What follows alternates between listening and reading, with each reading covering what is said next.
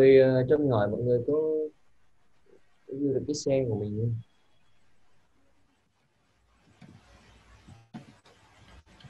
ok em thấy rồi đó anh uh... rồi. À, thì mình trong buổi hôm nay thì mình uh, xin giới thiệu về cái trải nghiệm của mình uh, khi chuyển sang làm uh, DevOps và sau này là SIE thì uh, mình mong là những cái chia sẻ của mình thì sẽ có hữu ích cho những bạn nào đang uh, tò mò về uh, DevOps và đang có kế hoạch chuyển sang làm DevOps chẳng hạn. À, thì mình uh, xin uh, bắt đầu cái buổi hôm nay. Các cái bài chia sẻ của mình. Thì uh, mình uh, giới thiệu lại một chút về bản thân mình. Uh, mình uh, tên là Hưng Trần Sĩ Hưng. À, thì mình học uh, đại học bách khoa Hà Nội uh, khóa 202 207 mình ra trường cũng uh, mười mấy năm rồi. Thì uh, phần lớn thời gian thì mình làm việc uh, chuyên môn chủ yếu của mình là system admin. Từ khoảng uh, 3 năm trước thì mình chuyển sang uh, làm DevOps và mình làm DevOps từ uh, đó cho tới bây giờ. Thì thực ra là vị trí hiện tại của mình là SRE uh, ờ, nhưng mà SRE và DevOps thì ờ, nó cũng khá là giống nhau.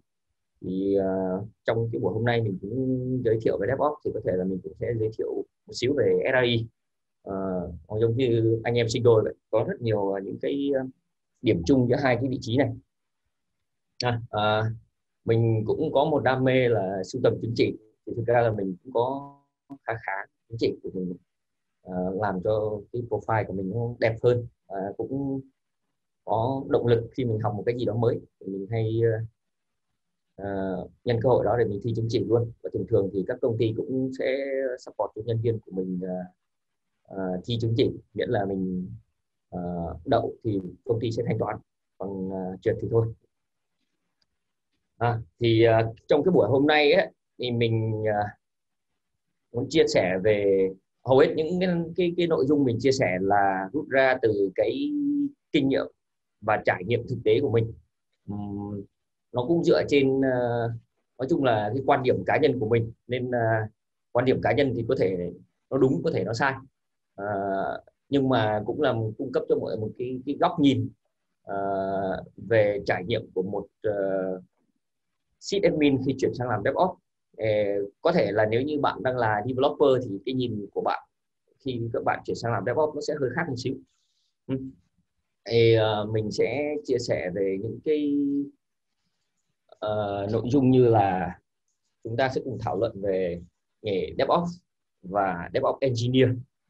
Uh, về những cái kỹ năng cần thiết uh, của một DevOps uh, những cái cơ hội và cũng đi kèm với đó là những cái thách thức khi chúng ta chuyển sang một vị trí mới là DevOps. Và cùng với trung tâm thì mình cũng uh, cùng các giảng viên khác xây dựng cái DevOps roadmap uh, là cái lộ trình uh, những cái khóa học và những cái kỹ năng cần thiết để mọi người um, xây dựng và chuẩn bị uh, trước khi mình thực sự chuyển sang làm DevOps và mình cũng chia sẻ một ít về cái kinh nghiệm phỏng vấn. Thì thực ra mình cũng làm việc khoảng 6 7 công ty khác nhau. Thì mình cũng có một số các cái kinh nghiệm phỏng vấn ở cả từ phía một ứng viên và từ phía người đi phỏng vấn. À, và cuối cùng thì à, là sẽ là phần quan trọng nhất. Mình nghĩ là sẽ tương tác uh, giữa uh, giảng viên bên mình và các bạn. Uh, mình sẽ ừ, hải mình sẽ cố gắng uh, trả lời tất cả các câu hỏi của các bạn uh, trong cái buổi hôm nay và kể cả sau buổi hôm nay. Nếu các bạn có câu hỏi thì các bạn cứ thoải mái post lên trong group uh, Zalo hoặc là Skype. Uh, bọn mình sẽ cố gắng trả lời tất cả câu hỏi của các bạn. À, thì đầu tiên là DevOps là gì? Thì đến bây giờ thì mình nghĩ đây là một cái mà nó khái niệm cũng khá là mông lung và không phải nó không có nhưng mà nó cũng gây ra nhiều tranh cãi. À, mình nghĩ là khi được hỏi về DevOps thì nhiều người sẽ đưa ra những cái nhìn khác nhau. À, đó là một chia sẻ của sếp của mình trước đây. À, bây giờ bác ấy là CTO của GoPay. Thì bác ấy nói là khi mà tao đi làm việc với khách hàng thì nếu tao nói về DevOps thì 10 người sẽ đưa lại cho tao 10 câu trả lời khác nhau. Còn nếu tao nói về SAI thì cả 10 người đều không biết đó là cái gì. Thì trở lại vấn đề DevOps là gì? Thì uh, sau khi đi làm một vài năm và cũng đọc một số sách đọc một số các diễn đàn thì mình rút ra được uh, DevOps với các cái góc nhìn khác nhau. Thì có thể nó là những thứ khác nhau nhưng mà thực chất thì đó chỉ là góc nhìn à, à, ví dụ như là theo cái định nghĩa DevOps mà được đưa ra ở trong cái ngày DevOps Day ấy, tức là được coi là cái định nghĩa nguyên thủy của DevOps ấy. thì DevOps là cái văn hóa làm việc à, giữa software development chữ dev ở đây chính là trong chữ development chứ không phải là developer giống như nhiều người lầm tưởng là DevOps là kết hợp giữa developer và operator đúng là đây nó phải là software development và chữ op là trong IT operation team thì cái văn hóa này đề cao cái việc làm việc uh, hợp tác và xóa nhòa ranh giới giữa các cái team truyền thống giống như mình hay có ở trong các cái mô hình mà hiện tại bây giờ vẫn còn đang rất là phổ biến.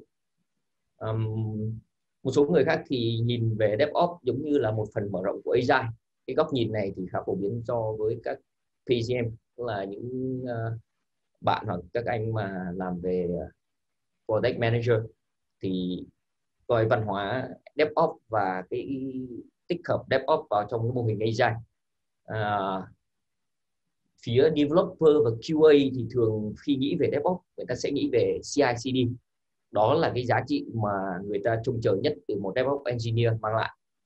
Là cái cách mà chúng ta làm CI/CD pipeline uh, cho một cái dự án phần mềm đó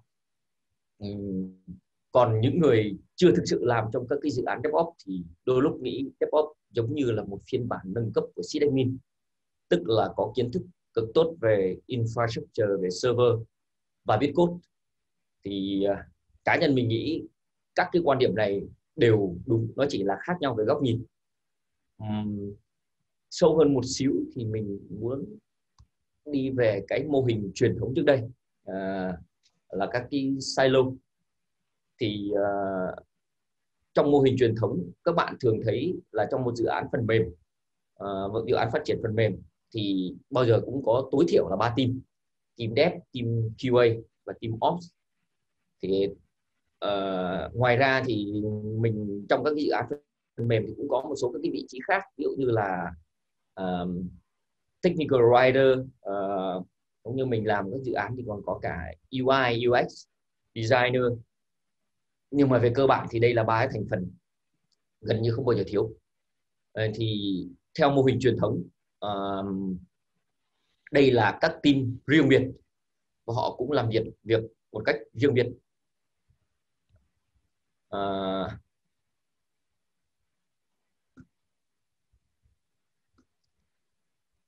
mọi người sẽ thấy trong cái chương trình này thì khi phát triển một phần mềm thì người trực tiếp làm việc để phát triển ra cái uh, sản phẩm phần mềm đó là developer. Họ sẽ xây dựng các cái uh, uh, gọi là code cái application. Uh, họ sẽ build và thực hiện các unit test uh, uh, tại cái môi trường dev development của họ. Thì thông thường môi trường development trong nhiều trường hợp nó có thể chính là cái laptop của cái PC hoặc là một môi trường dev riêng ở trên cloud chẳng hạn. Thì theo cái quy trình này thì khi họ hoàn thành một cái phần ở một cái cái, cái trạng nào đó của cái application thì họ sẽ đưa cái code của họ cho QA để các bạn QA sẽ triển khai lên cái môi trường test. Mà đây thường sẽ là đôi lúc được gọi là môi trường QA thì QA sẽ thực hiện các cái um, bước test sâu hơn uh, ờ, là unit test, integration test, functional test, performance test uh, để chắc chắn rằng là uh, cái ứng dụng của cái cái cái sản phẩm mình nó ít lỗi. Nếu như họ phát triển ra bug thì họ lại quay lại uh, feedback cho bên dev và bên dev lại uh, tạo ra các cái feature brand hoặc những cái hot fix để fix những cái bug uh, mà QA tìm ra. Thì đó là một cái vòng lặp. Cho đến khi mà QA không phát hiện ra lỗi nữa tức là uh, lúc đó mình sẽ xác định là cái uh, release của mình đã sẵn sàng để đưa vào uh, staging môi trường staging và môi trường production. Thì lúc đó ops mới thực sự vào cuộc. Uh, họ sẽ nhận nhiệm vụ là uh, nhận số code uh, được đóng gói ở dưới dạng uh, uh, tùy vào ứng dụng hoặc có thể là đóng gói dưới dạng container uh, email hoặc là các cái uh, package manager khác như gói ra gói qua tùy vào cái ứng dụng của mình cái technology stack và deploy lên các cái môi trường như staging và production. Thì vấn đề ở đây là team ops này gần như tách biệt khỏi team dev và QA và họ chỉ nhận được cái đó khi mà nó được coi là stable và khi họ deploy xuống các cái môi trường thì sẽ xảy ra vấn đề. Thông thường uh, nếu tốt đẹp thì sẽ không có vấn đề gì nhưng uh, uh, như các bạn đã biết thì uh, máy tính vốn không vốn là được tạo ra và kể cả trong trường hợp tối ưu thì vẫn có khả năng xảy ra lỗi. Đặc biệt là khi có sự can thiệp của con người như ví dụ khi chúng ta viết code chẳng hạn thì khả năng xảy ra lỗi là rất là cao. Thì lúc đó chúng ta sẽ bắt đầu rơi vào một cái vòng gọi là tìm lỗi à, và tệ hơn nữa là đổ lỗi. Thì cái mô hình này mình cũng đã chứng kiến trong thực tế và mình cũng có nhiều năm trải nghiệm cái mô hình này à, ở cái vị trí của một ops IT operation um, ấy, vấn đề là khi mà xảy ra sự cố thì thường sẽ có hai cái lý lẽ. Ví dụ như là từ phía developer thì họ sẽ suy nghĩ rằng cũng phần cũng cái cái số code đó đã chạy ở trên môi trường dev và môi trường QA thì không có lý do gì mà không chạy trên môi trường staging và môi trường production. Vì về lý thuyết thì có vẻ như các môi trường này giống nhau. À, off team thì lại có một lý lẽ khác là uh, nó đã chạy ở trên môi trường uh, các cái môi trường là ổn định. Vậy nếu như mà code của các bạn đúng thì bắt buộc nó phải chạy trên staging và chạy trên production giống như là đã chạy trên môi trường dev và môi trường QA. Uh, nếu có vấn đề gì đó thì là do logic của cái code. Nói chung đó là một cái uh, bài toán mà gần như không có lời giải. Và nguyên nhân sâu xa của nó là các team làm việc không có sự hợp tác cao. Mỗi team là một cái uh, như người ta hay dùng cái thuật ngữ là silo uh, là một cái tháp riêng biệt. Và khi troubleshoot thì cũng sẽ rất là khó khăn bởi vì uh, mỗi team chỉ biết phần việc của mình. Ờ, uh, team off như các bạn đã thấy trong trường hợp này là họ nhận code khi mà uh, nó đã ở một mức độ hoàn thiện nào đó và đưa lên môi trường. Ờ, uh, off team thì đặc biệt họ lại nhấn mạnh vào cái sự ổn định uh, trên các cái môi trường nên uh, họ không có thay đổi quá nhiều về các môi trường đó. Họ nói chung là sẽ không quá khuyến khích cái việc thay đổi quá nhiều ngược lại thì dev team họ lại cái vòng đời phát triển của họ uh, sản phẩm của họ là liên tục ờ, uh, code mới mỗi ngày. Uh, sự thay đổi của một bên và sự nhấn mạnh sự ổn định của một bên trong trường hợp này nó gần như là nó sẽ mâu thuẫn với nhau.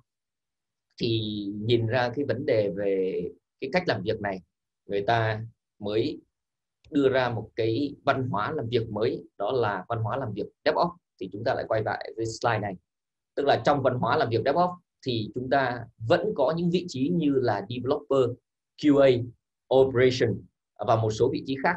Nhưng chúng ta làm trong một dự án như là một team thống nhất lúc đó không còn là tôi thuộc về team A bạn thuộc về team B hay là bạn kia là team C. À, chỉ có bạn A làm việc với bạn B đến một thời điểm nào đó thì bạn C mới involve vào. À, chúng ta vào dự án ngay từ đầu và dựa trên các uh, cái cái framework agile uh, ờ, cũng gọi là yêu cầu các team làm việc chặt chẽ với nhau. Và đặc biệt ở đây là một trong những cái văn hóa quan trọng nhất của DevOps là blame tức là chúng ta không có đổ lỗi cho bất cứ ai. Nếu xảy ra vấn đề chúng ta sẽ cùng giải quyết nó. À, và so với mô hình truyền thống thì mọi người sẽ thấy là trong cái mô hình DevOps á, thì cái vị trí Ops này á, thông thường sẽ là sau này sẽ được thay thế bởi một cái gọi là DevOps Engineer. À, cũng có thể trong một số dự án cực lớn thì các bạn sẽ thấy có sự hiện diện của cả uh, DevOps lẫn SRE hoặc là sysadmin. Uh, nhưng mà từ góc nhìn của mình mình cũng tham gia cũng khá khá dự án thì mình chưa thấy cái mô hình này. Nhưng hầu như là các bạn sẽ thấy trong một dự án tiêu chuẩn thì thường thường sẽ có developer QA DevOps uh, và có thể có một số vị trí nữa như là UX um, UI design um, và project manager tất nhiên. Thì trong cái mô hình đó chúng ta đề cao sự hợp tác và không đổ lỗi. Tuyệt đối chúng ta không đổ lỗi. Nếu xảy ra vấn đề chúng ta sẽ cùng nhau tìm ra vấn đề. Và lý thuyết là như vậy nhưng mà nó phải được thực hiện đúng từ đầu. Nghĩa là mọi thông tin trong dự án là phải mở với tất cả mọi người. Uh, DevOps cũng có quyền truy cập vào code repo để họ hiểu một phần nào đó về logic của cái application. Họ hiểu về những cái feature mới. Uh, ngược lại developer cũng cần phải biết là cái application của họ đang chạy trên môi trường nào môi trường cloud có những đặc thù gì. Họ cũng cần có trang bị cho mình một số các kiến thức nền tảng để về cloud chẳng hạn về cái môi trường mà họ sẽ chạy cái ứng dụng mình trên đó để tránh cái gap giữa việc là họ đi develop chạy trên môi trường local và khi họ đưa sang một môi trường mới thì nó không chạy giống như kỳ vọng. Bởi vì rõ ràng là hai cái môi trường đó là hoàn toàn khác nhau. Bằng cái việc là hợp tác cùng nhau chia sẻ kiến thức và cùng nhau ờ, uh, chấp một chút lỗi uh, tìm lỗi đề cao sự hợp tác thì uh, cộng với việc uh, mình sử dụng các cái automation như CI CD uh, ờ, thì mình sẽ làm cho cái hiệu quả của một cái dự án phần mềm nó cao hơn khá là nhiều so với cái mô hình cũ. Đó là cái góc nhìn của mình về DevOps. À, à, thì à, các bạn cũng có thể tìm và đọc sâu hơn về DevOps. Có rất là nhiều các cái diễn đàn và nhiều sách về DevOps. Thực tế là công ty cũ của mình cũng từng có một nó coi gần giống như một dự án là tất cả cùng nghiên cứu một cuốn sách về DevOps tên là Accelerate nhưng bỏ cuộc giữa chừng bởi vì nó quá cao siêu và nó quá tốn thời gian. À, nên theo quan điểm cá nhân của mình mình tìm hiểu DevOps vừa đủ nhưng mà mình khi mình thực tế mình làm một dự án DevOps à, thì mình sẽ rút ra được cái gọi là cái góc nhìn của mình mình sẽ hiểu rõ hơn. À, thay vì mình chỉ đọc về lý thuyết của DevOps về nó sẽ làm cho các bạn bối rối. Bởi vì uh, uh, khi các bạn Google về DevOps chẳng hạn các bạn sẽ có hàng chục các cái định nghĩa. Và trong nhiều trường hợp thì nó trồng chéo và nó mâu thuẫn với nhau.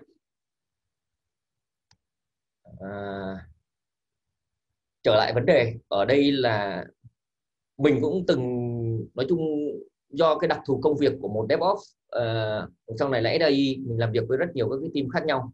Uh, từ các cái vị trí khác nhau mình làm việc với developer mình làm việc với QA với PM và cũng do cái bản tính cá nhân của mình là cũng thích la cà thích ngồi cà phê rồi thích uh, uh, nói chung là hướng ngoại. Nên là mình uh, cũng hay có những cái thảo luận với các team khác và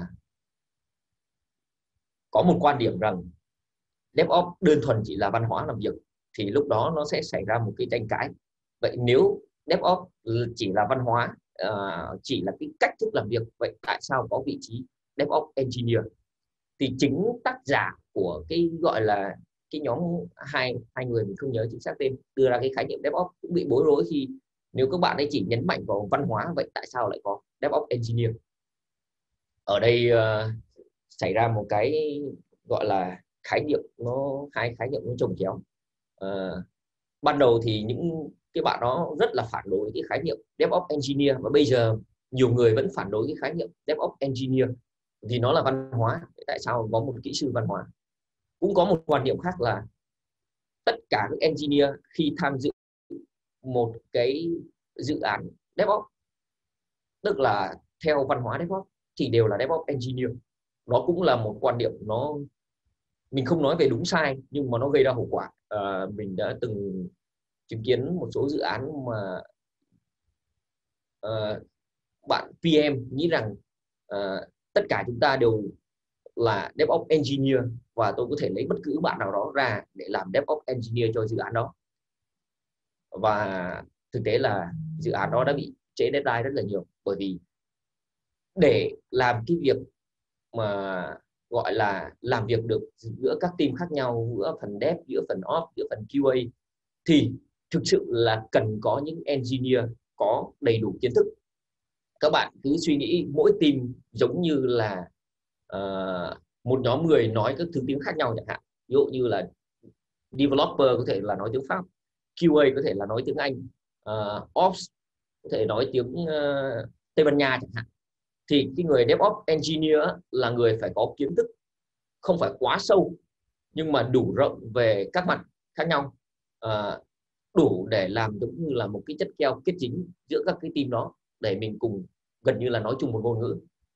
Thì đó chính là cái việc mà xuất phát uh, và bây giờ có thể nó là, là sai nhưng mà sai lâu rồi thì nó cũng thành đúng. Tức là bây giờ là cái vị khi mà chúng ta nói đến DevOps thực ra là chúng ta đang nói đến vị trí DevOps tức là một DevOps engineer. Và bây giờ thì các bạn thấy là nó cũng đang là một vị trí khá là hot uh, bên cạnh SIE uh, ờ, thì DevOps engineer cũng là một trí, vị trí khá là hot. Và mình nghĩ là hầu hết các bạn là khi tham dự cái buổi meet up này thì các bạn cũng đang đâu đó có kế hoạch để chuyển sang làm DevOps hoặc ít nhất là tò mò về cái vị trí mà có thể được coi là tương đối hot hiện nay là vị trí DevOps. Vậy thì DevOps Engineer làm gì? Mình không bàn về định nghĩa bởi vì như mình đã chia sẻ thì khi mình đọc quá nhiều tài liệu về DevOps và uh, cứ đi tìm cái bản chất của nó thì thực ra nó không giúp ích nhiều cho mình uh, mà mình tập trung vào cái việc về mặt kỹ thuật những cái mà từng hầu như là mình thấy nó dễ dàng dễ hiểu hơn thì mình thấy cái cách tiếp cận nó nó giúp ích cho mình nhiều hơn. Thì uh, một DevOps engineer thì làm gì? Um, đây là mình chia sẻ từ uh, gọi là trải nghiệm của mình ở hai công ty khác nhau ở vị trí DevOps.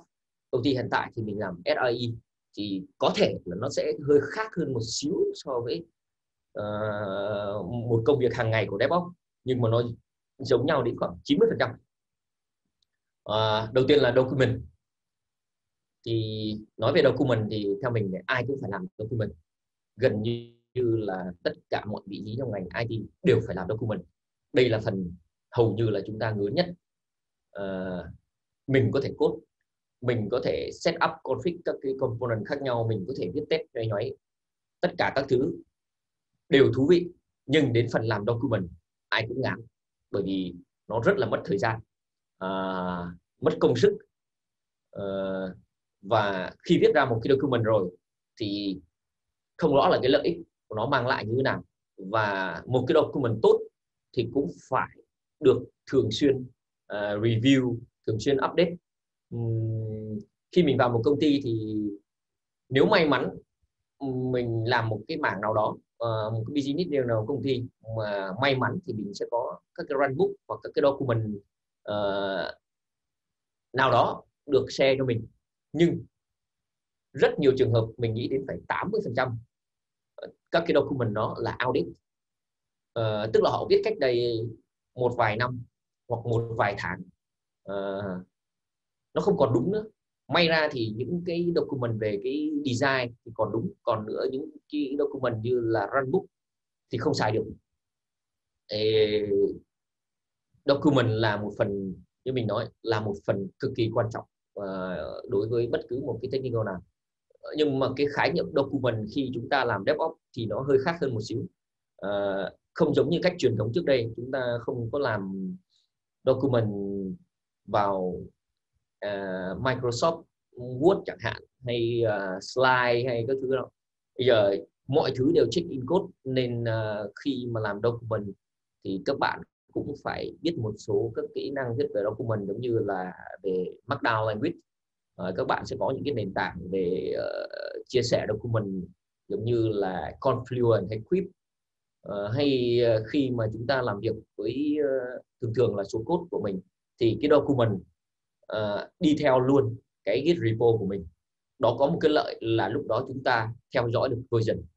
Khi chúng ta cập nhật hay thay đổi document thì chúng ta cũng theo đúng quy trình giống như là phát triển một cái phần mềm hay một cái tool vậy. Chúng ta cập nhật document chúng ta cũng phải uh, tạo ra một cái PR một cái pull request và sẽ có người review cái phần thay đổi về document đó. Tức là mọi thứ sẽ được up to date và được review. Thì trong trường hợp này thì cái documentation của mình nó sẽ tốt hơn rất là nhiều.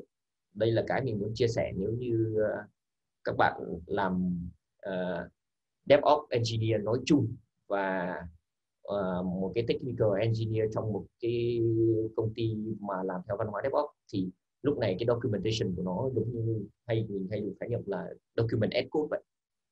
Hãy đối xử với documentation giống như là một phần ứng dụng của mình.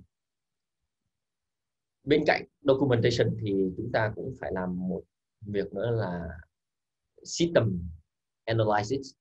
Ừ, việc này thường hay gây ra tranh cãi. À, đó chính là cái việc mà mình đánh giá cái hệ thống hiện tại của mình như thế nào mình đang sử dụng công nghệ gì mình có những gì cần improve uh, mình có những gì cần uh, cải tiến uh, những gì mình nhìn ra các cái nhược điểm của cái mô hình hiện tại hay là của cái công nghệ hiện tại mình đang sử dụng. Thì cái này những người mới vào sẽ hay gặp vấn đề với các cái cựu binh đã có. Những người mới thường mang lại cái làn sóng mới, họ muốn thay đổi. Họ mới nên họ sẽ nhìn một cách khách quan hơn. Thay vì là vài năm làm việc với những cái công nghệ cũ và chấp nhận nó, thì những người mới, họ mới hoàn toàn. Họ nhìn vào cái technology hiện tại đang sử dụng, họ nhìn ra các vấn đề và họ muốn thay đổi nó. Còn mình cũng bắt gặp một các quan điểm khác là những người lâu năm họ sẽ không muốn thay đổi và họ sẽ phản ứng lại. Thì cái này tùy vào văn hóa của từng công ty và tùy vào cách tiếp cận. Nhưng cá nhân mình cho rằng cải tiến là cần thiết nhưng nó cần phải có một lộ trình. À, trong thực tế thì mình cũng đã nhìn thấy những bạn à, vào làm việc hai tháng và sau đó thì nghỉ rất là đáng tiếc.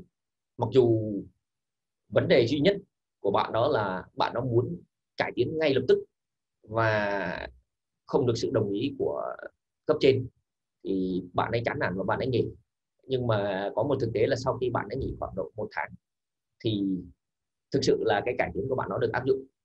Nhưng mà ở đây thì mình không trách là bạn nó, mình không nói là ai đúng, bạn nó đúng hay quản lý của bạn nó đúng. Nhưng ở đây vấn đề là mình nghĩ là sự nóng vội uh, cải tiến là cần thiết nhưng nó cần có một lộ trình. Và người ta cũng sẽ có nhiều cái lý do để chỉ ra tại sao có những cái uh, công nghệ nó khá là cũ và chứa được nhiều nhược điểm nhưng mà tại sao mình chưa chuyển sang công nghệ mới? Uh, bởi vì muốn thay đổi thì mình cần phải có số liệu mình cần phải có, một cái lộ trình uh, không thể chỉ đơn giản là thay đổi nó sẽ ảnh hưởng rất là nhiều đến cái ờ, uh, production và đặc biệt là khách hàng. Uh, đó là về vấn đề về việc gọi là cái cái system analysis thì cái này mình nghĩ là nó cực kỳ quan trọng.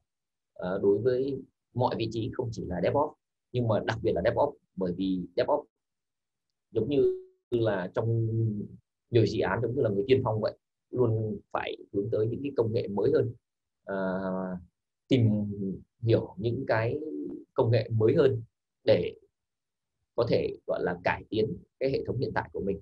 À, nó theo đúng cái tinh thần của CI continuous improvement. À, một công việc khác nữa của DevOps mà nó ứng với cái phần đầu tiên trong chữ DevOps chính là development. À, tuy nhiên đây cũng xảy ra một cái hiểu lầm là development đối với DevOps nó không phải là application development. Uh, có một số bạn sysadmin uh, cũng từng là học viên của mình hoặc có thể không phải là học viên của mình nhưng uh, cũng uh, cùng trao đổi trên cái group ờ, Zalo uh, khá là lớn uh, của các cựu học viên và những bạn tham gia trên cái của bên uh, trung tâm mình. Thì các bạn ấy các bạn đặc biệt các bạn sysadmin thì thường hay có một cái nỗi sợ vô hình là uh, mặc dù em rất tự tin về khả năng sysadmin của mình nhưng mà để develop giống như các bạn developer thì chắc chắn em làm không được. Thì thực ra là đang có một sự hiểu nhầm ở đây. Development này là các bạn develop tool uh, automation script hay những thứ liên quan. Các bạn không có development một cái application hoàn chỉnh. Các bạn không code front end các bạn không code back end uh, ờ, uh, các bạn không code react hay java gì hết. Mà các bạn develop các cái tool uh, và các cái automation script pipeline uh, ờ, hầu hết tất cả các cái task cũng đều có thể gọi là development. Kể cả các bạn làm việc về documentation các bạn viết một runbook cũng có thể coi là development. Uh, bởi vì các bạn đang sử dụng một cái cái cái cái, cái, cái language là markdown language. À, uh, có một hiểu nhầm nữa là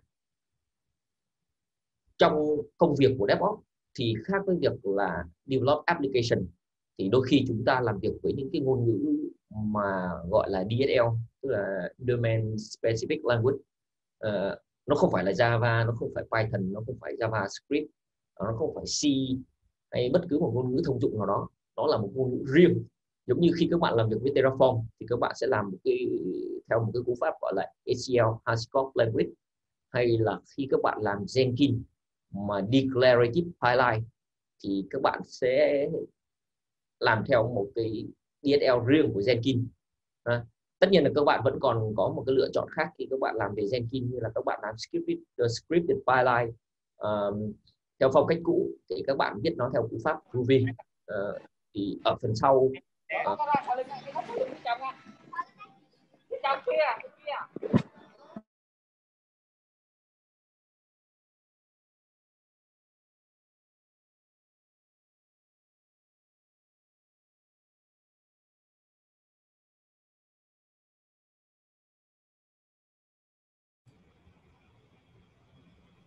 Ôi, xin lỗi. Uh, sorry có có một bạn mở mic nó gây ồn nên mình mở lại. À, à, ok ok. À, à, nên uh, các bạn admin cứ tự tin lên. Phần development này nó không có phức tạp giống như là application development. Mình không so sánh với việc là uh, phát triển phần mềm và phát triển tool thì cái nào khó hơn cái nào dễ hơn. Đó là hai phần khác nhau. Tuy nhiên uh, cái phần development này có một cái điều rất là quan trọng đó là các bạn làm việc uh, các bạn phải thay đổi cái mindset đặc biệt là các bạn sysadmin. Chúng ta development nghĩa là chúng ta làm việc với git chúng ta cũng phát triển cái tool của mình hoặc các cái automation script của mình giống như phát triển một ứng dụng. Nó cũng có repo nó cũng có uh, feature cũng có PR tất cả mình đều theo một cái workflow giống như là một developer chị khác là mình sử dụng ngôn ngữ khác mình phát triển cho một cái đối tượng khác một cái tool khác nhau uh, thay vì application. Và qua quá trình đó thì mình cũng cần hiểu uh, về cái logic của cái ứng dụng mà trong cái dự án mà mình đang tham gia. Uh, thì cái này cũng may mắn là khi mình làm việc DevOps thì mình cũng có cơ hội làm việc với những developer rất là giỏi. Uh, và họ sẵn sàng chia sẻ cái hay của cái làm nghề DevOps và trong một cái công ty mà thực sự theo cái văn hóa DevOps thì mọi người sẵn sàng giúp đỡ bạn. Uh, rất là hay. Ví dụ như là mình muốn tìm hiểu về Android chẳng hạn thì uh, bạn mình uh, một cái developer thực ra là cũng vào mới vào công ty một hai tháng cũng quen biết vừa phải thôi. Sẵn sàng set up một cái meeting hai tiếng đồng hồ để ngồi giảng giải cho mình demo cho mình cái cách mà bạn ấy viết một cái app Android nhỏ nhỏ như thế nào các khái niệm trong nó như thế nào và cái cách mà bạn nó deploy thì như thế nào. Thì khi mà các bạn làm CI/CD cho mobile app chẳng hạn thì nó khá là khác so với các bạn làm việc CI/CD cho uh, các cái application thông thường. À, uh, project planning. Khi mình ở vị trí DevOps engineer thì chắc chắn là mình sẽ phải tham dự vào việc uh, lên kế hoạch cho một dự án.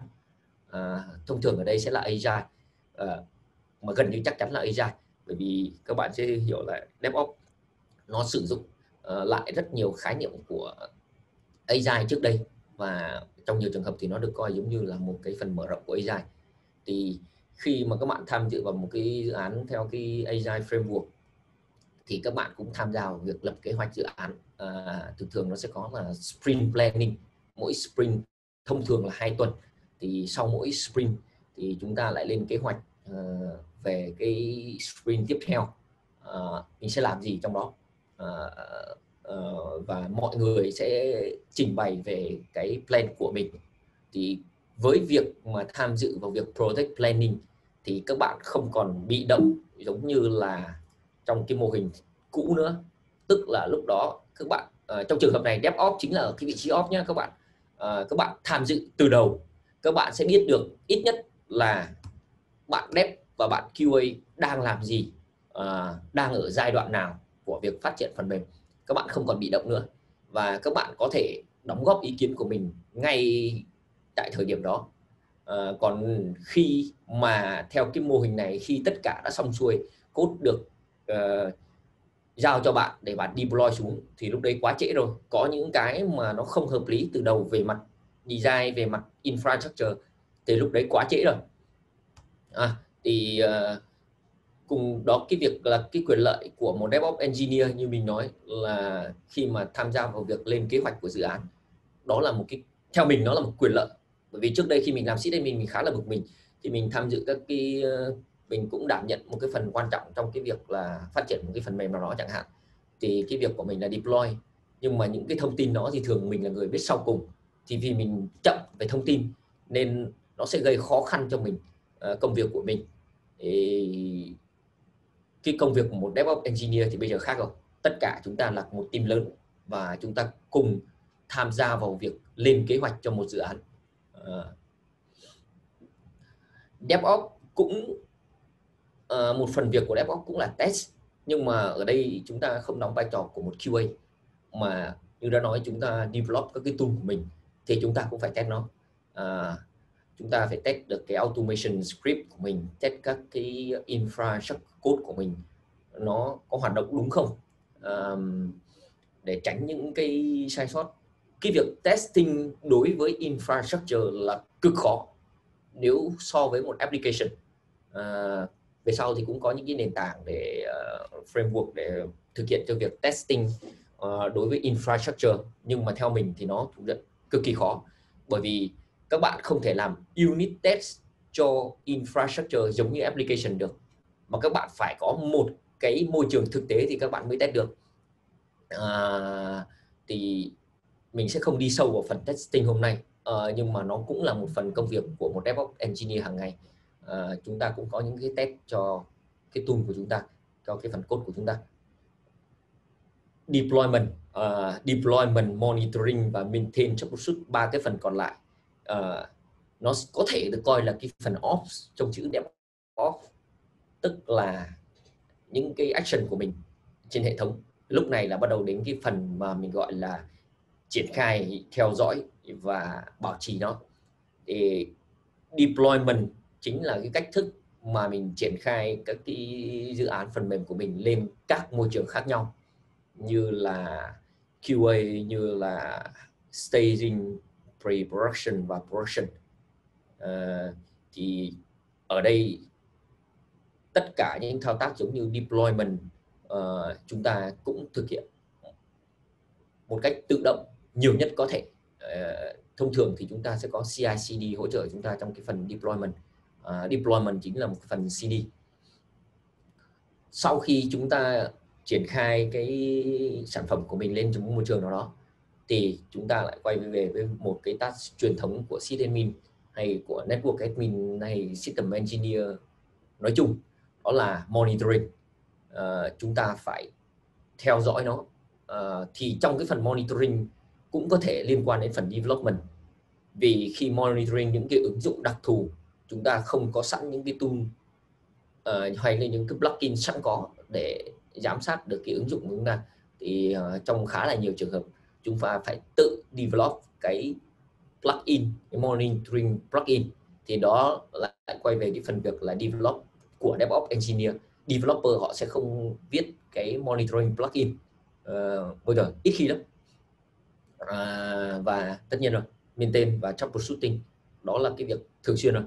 Thì uh, cái việc mà như mình nói lợi ích của cái việc mình tham gia vào product planning mình cùng làm việc cùng với team dev team QA ngay từ đầu trong một dự án thì nó sẽ giúp ích rất nhiều khi mà chúng ta cùng troubleshoot và cùng uh, maintain hệ thống.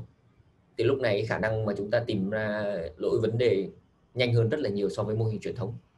Và thường thường thì cái phần troubleshooting này á, thì DevOps engineer là cái người tham gia đầu tiên bởi vì họ có cái nhìn uh, nói chung là khá là rộng về cái dự án này uh, về application về cái môi trường chạy trên đó. Và khi mà họ đã đánh giá được vấn đề ít nhất là nó có thể nằm ở vấn đề application hay nằm ở vấn đề về infrastructure hay ở đâu đó thì lúc đó sẽ involve những người khác uh, nhanh hơn và nó giúp cho cái quá trình mà gọi là uh, tìm ra troubleshoot lỗi nhanh hơn uh, xử lý nhanh hơn thì cũng có nghĩa là ít đau tham hơn. Thì đây là những cái công việc ừ, của một DevOps clip này nó không bao gồm hết tất cả công việc của một DevOps có thể tùy vào đặc thù công ty có thể có một số các cái task khác nữa. Hoặc trong một số các cái dự án thì cũng khá là thú vị khi một DevOps nếu các bạn cần các bạn có thể đề xuất với PM là à, tôi muốn làm DevOps trong dự án này nhưng 50 phần trăm 50 phần trăm còn lại tôi muốn tham gia cùng với uh, backend developer để cùng phát triển cái phần backend uh, phần API chẳng hạn. Thì mình cũng từng làm tham dự kiểu đó khá là thú vị. Mình sẽ học được thêm nhiều cái mới. Nói chung trong một dự án DevOps thì mọi thứ khá là open. Uh, nếu các bạn muốn làm gì đó các bạn cứ trao đổi với uh, quản lý của dự án uh, project manager uh, hoặc là trong một số trường hợp là mình sẽ có cả technical architect uh, những người người hoặc là technical lead. Thì nếu mà hợp lý thì, thì họ sẽ bố trí được thì họ sẽ để mình tham gia thôi. À, dựa trên những công việc này thì chúng ta cũng phải chuẩn bị các cái kỹ năng cần thiết à, à, của một DevOps. À, đây là mình list ra những cái kỹ năng mà theo mình là à, cần thiết. Tất nhiên là với mỗi vị trí công việc thì có những kỹ năng mềm thì ai cũng cần có thì càng tốt. À, đầu tiên là kỹ năng về communication kỹ năng giao tiếp nói chung. Thì uh, như đã trao đổi từ đầu vị trí DevOps thì các bạn phải làm việc với nhiều người khác nhau tới từ nhiều team khác nhau. Uh, trong đó có thể kể tới là developer ờ, uh, front-end, back-end uh, rồi um, uh, team QA uh, ờ, các bạn làm việc với project manager, BA nói chung là rất nhiều các vị trí khác nhau. Thì nếu như các bạn là người hướng nội các bạn thích ngồi một chỗ uh, đeo tai phone vào và cốt rất nhiều người như vậy những người cực giỏi họ không thích làm việc với nhiều người khác nhau họ chỉ thích tập trung vào cái sản phẩm của mình. À, thì nếu bạn không thích giao tiếp không thích hướng ngoại như vậy thì mình không nghĩ là DevOps là một vị trí phù hợp cho bạn đâu. Bởi vì để làm DevOps thì bạn buộc phải communicate càng nhiều càng tốt.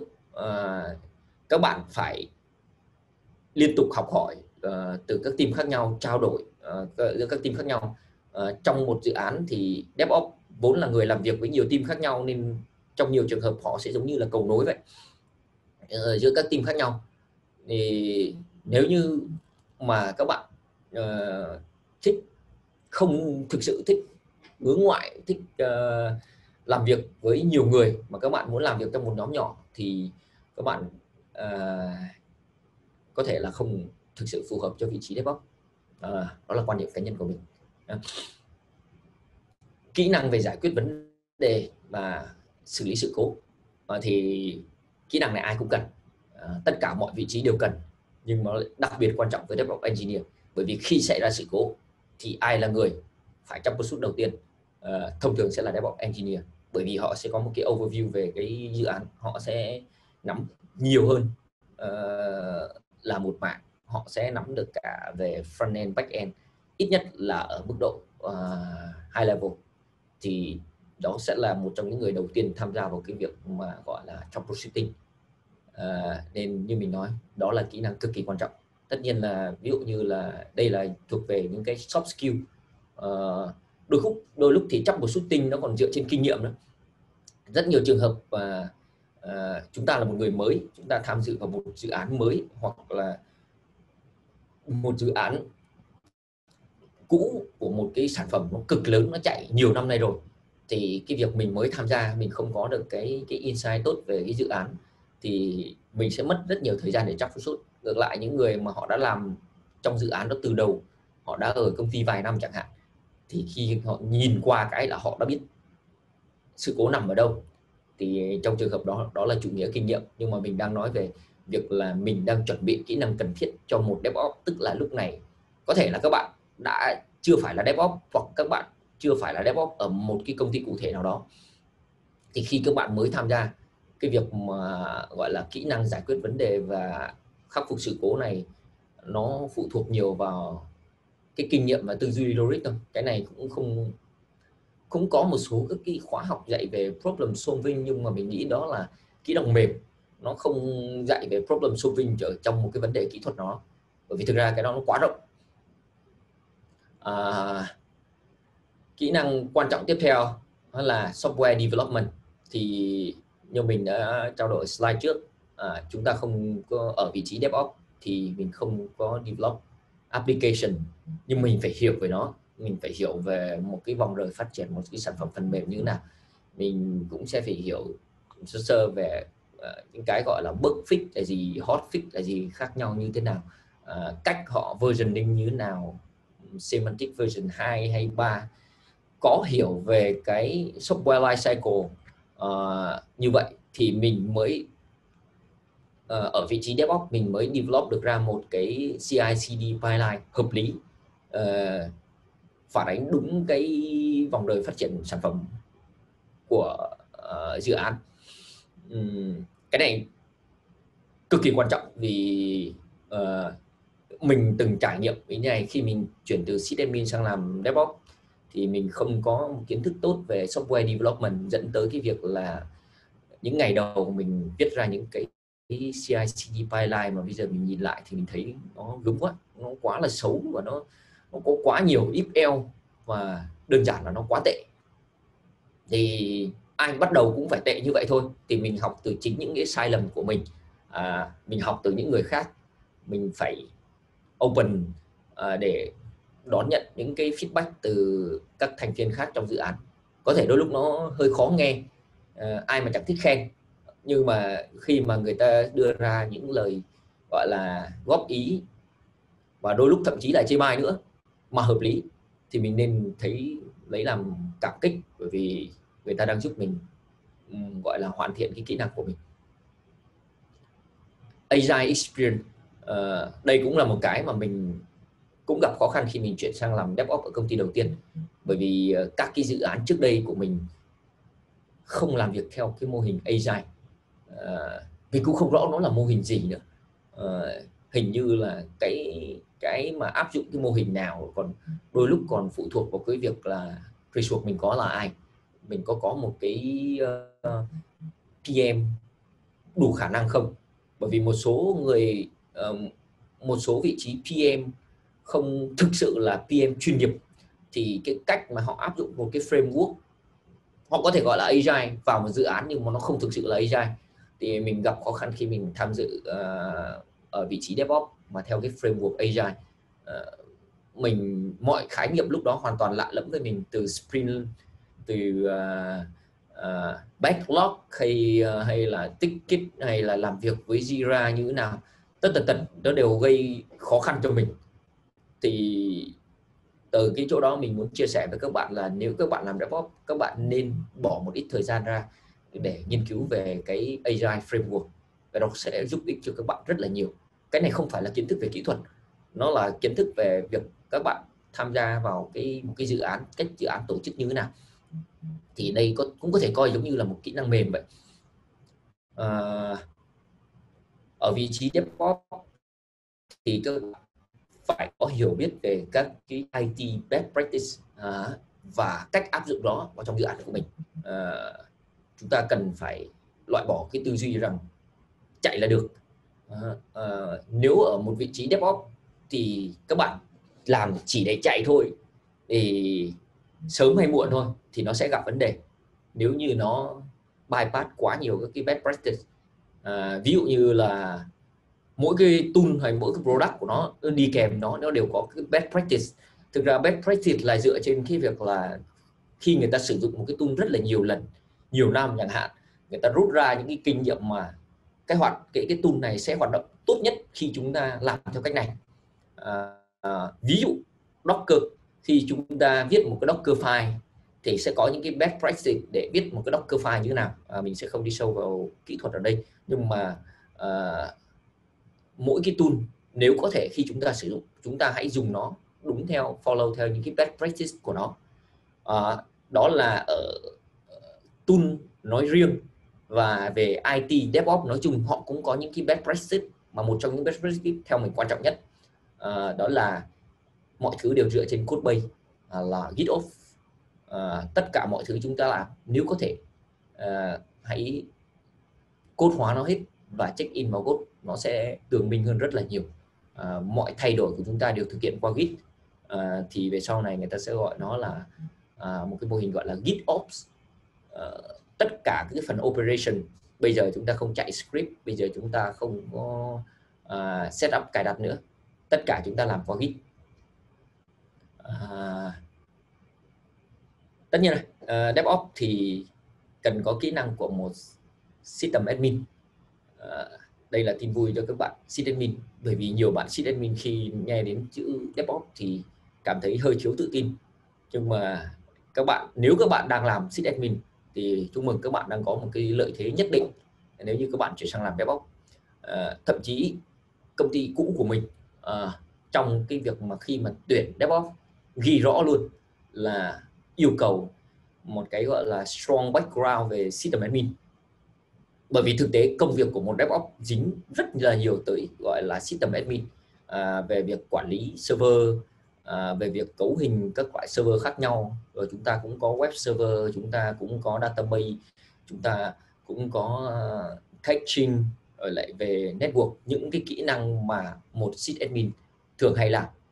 Khác biệt ở đây là mindset và cái cách chúng ta thực hiện nó theo một cách DevOps chúng ta vẫn làm một những cái công việc giống như một sysadmin nhưng mà cái điều khác biệt đầu tiên mà mình nhận ra là mọi thao tác mình đều làm qua Git. À, à, mình đều được review bởi nhiều team khác nhau.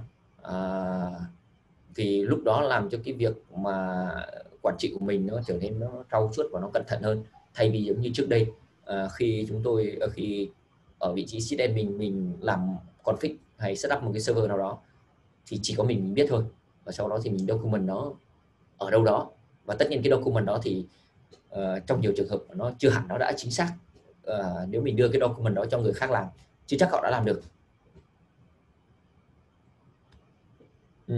uh, thì sau khi chúng ta có hiểu về DevOps hiểu về các cái công việc của một DevOps engineer làm gì uh, chuẩn bị những cái kỹ năng cần thiết à, thì bây giờ đó là lúc chúng ta suy nghĩ về cái việc uh, mình có thực sự đã sẵn sàng để mình apply vào một cái vị trí DevOps chưa? Uh, mình được cái gì? Và mình sẽ gặp cái gì? Uh, đó là cơ hội. Và đi kèm với cơ hội thì bao giờ cũng có thách thức. Thì uh, cái này những cái cơ hội ở vị trí DevOps mình chia sẻ. Uh, và tất nhiên là các bạn cũng nghe nói nhiều về cái này trên khi các bạn uh, nói chung là bây giờ giống như trong uh, nó thành giống như xu hướng vậy. DevOps đang là một hot trend mà. Thì tại sao nó hot? Thứ nhất công việc nó khá là thú vị. Thực sự phải nói là rất là thú vị. Bởi vì mình làm các công việc khác nhau mỗi ngày. Nó quá rộng để cho các bạn có thể nhàm chán. À, chỉ có các bạn cảm thấy nhàm chán khi mà các bạn không muốn làm nữa thôi. Chứ thực ra thì công việc không bao giờ hết thu nhập cao nhiều cơ hội thăng tiến. Cái này thì cũng khó nói. Uh, nhưng mà trong cái hiểu biết cá nhân của mình thôi trải nghiệm thôi.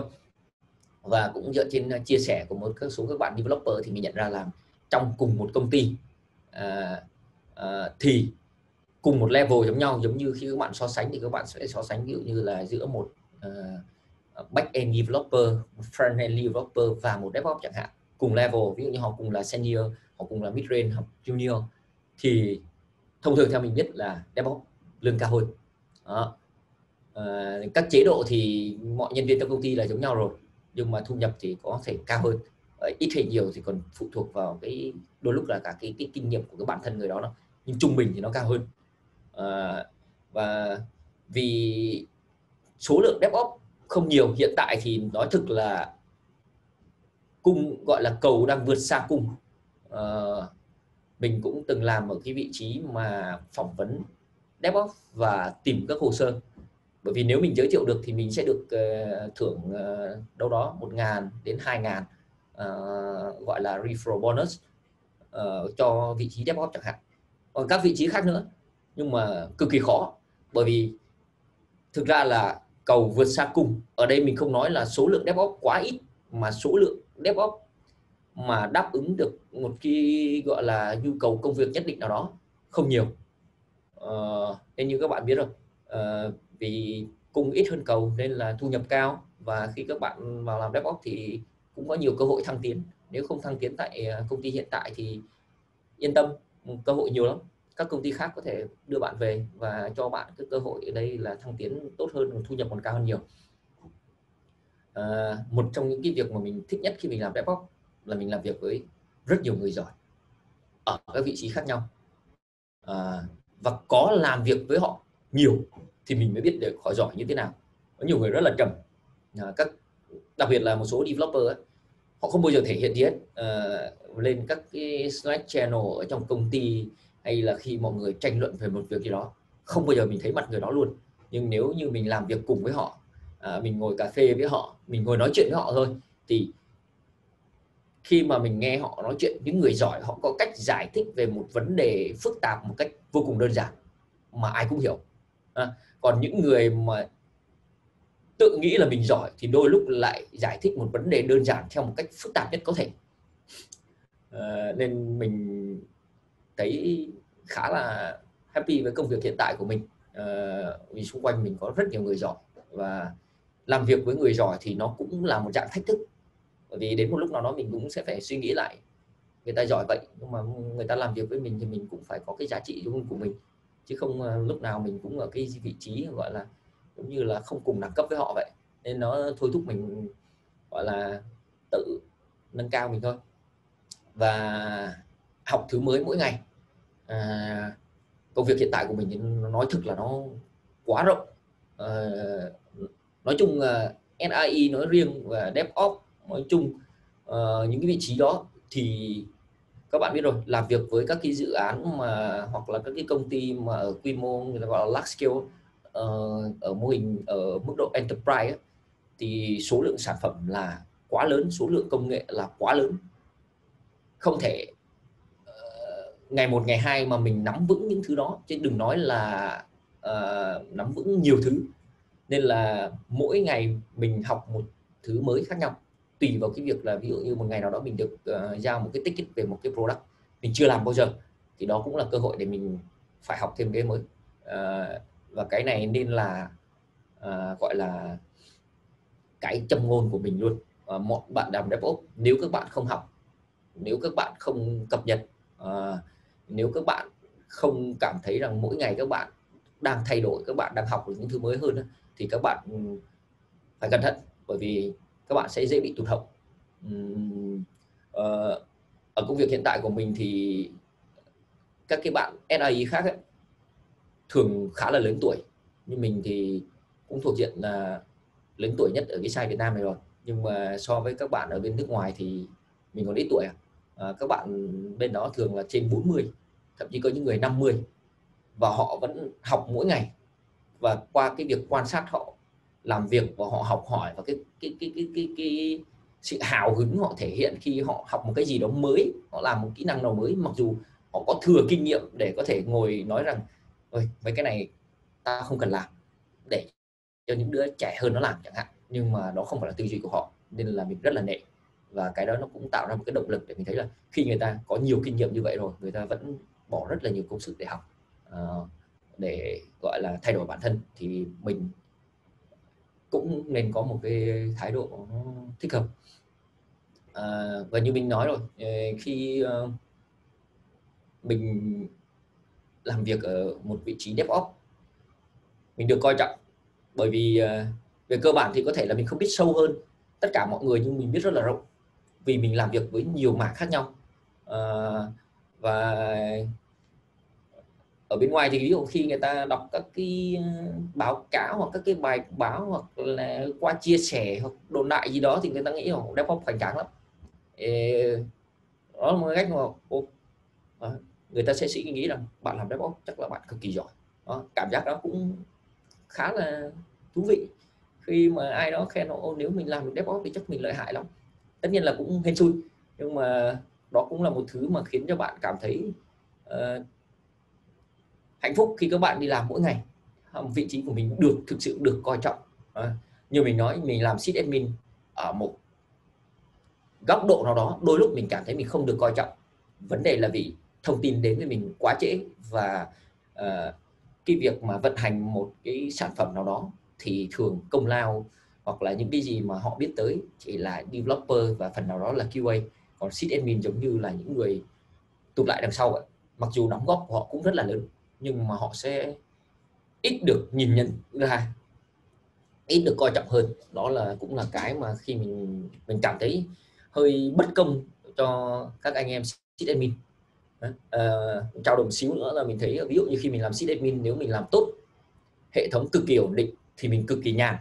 Nhưng mà vì mình nhàn nên người ta lại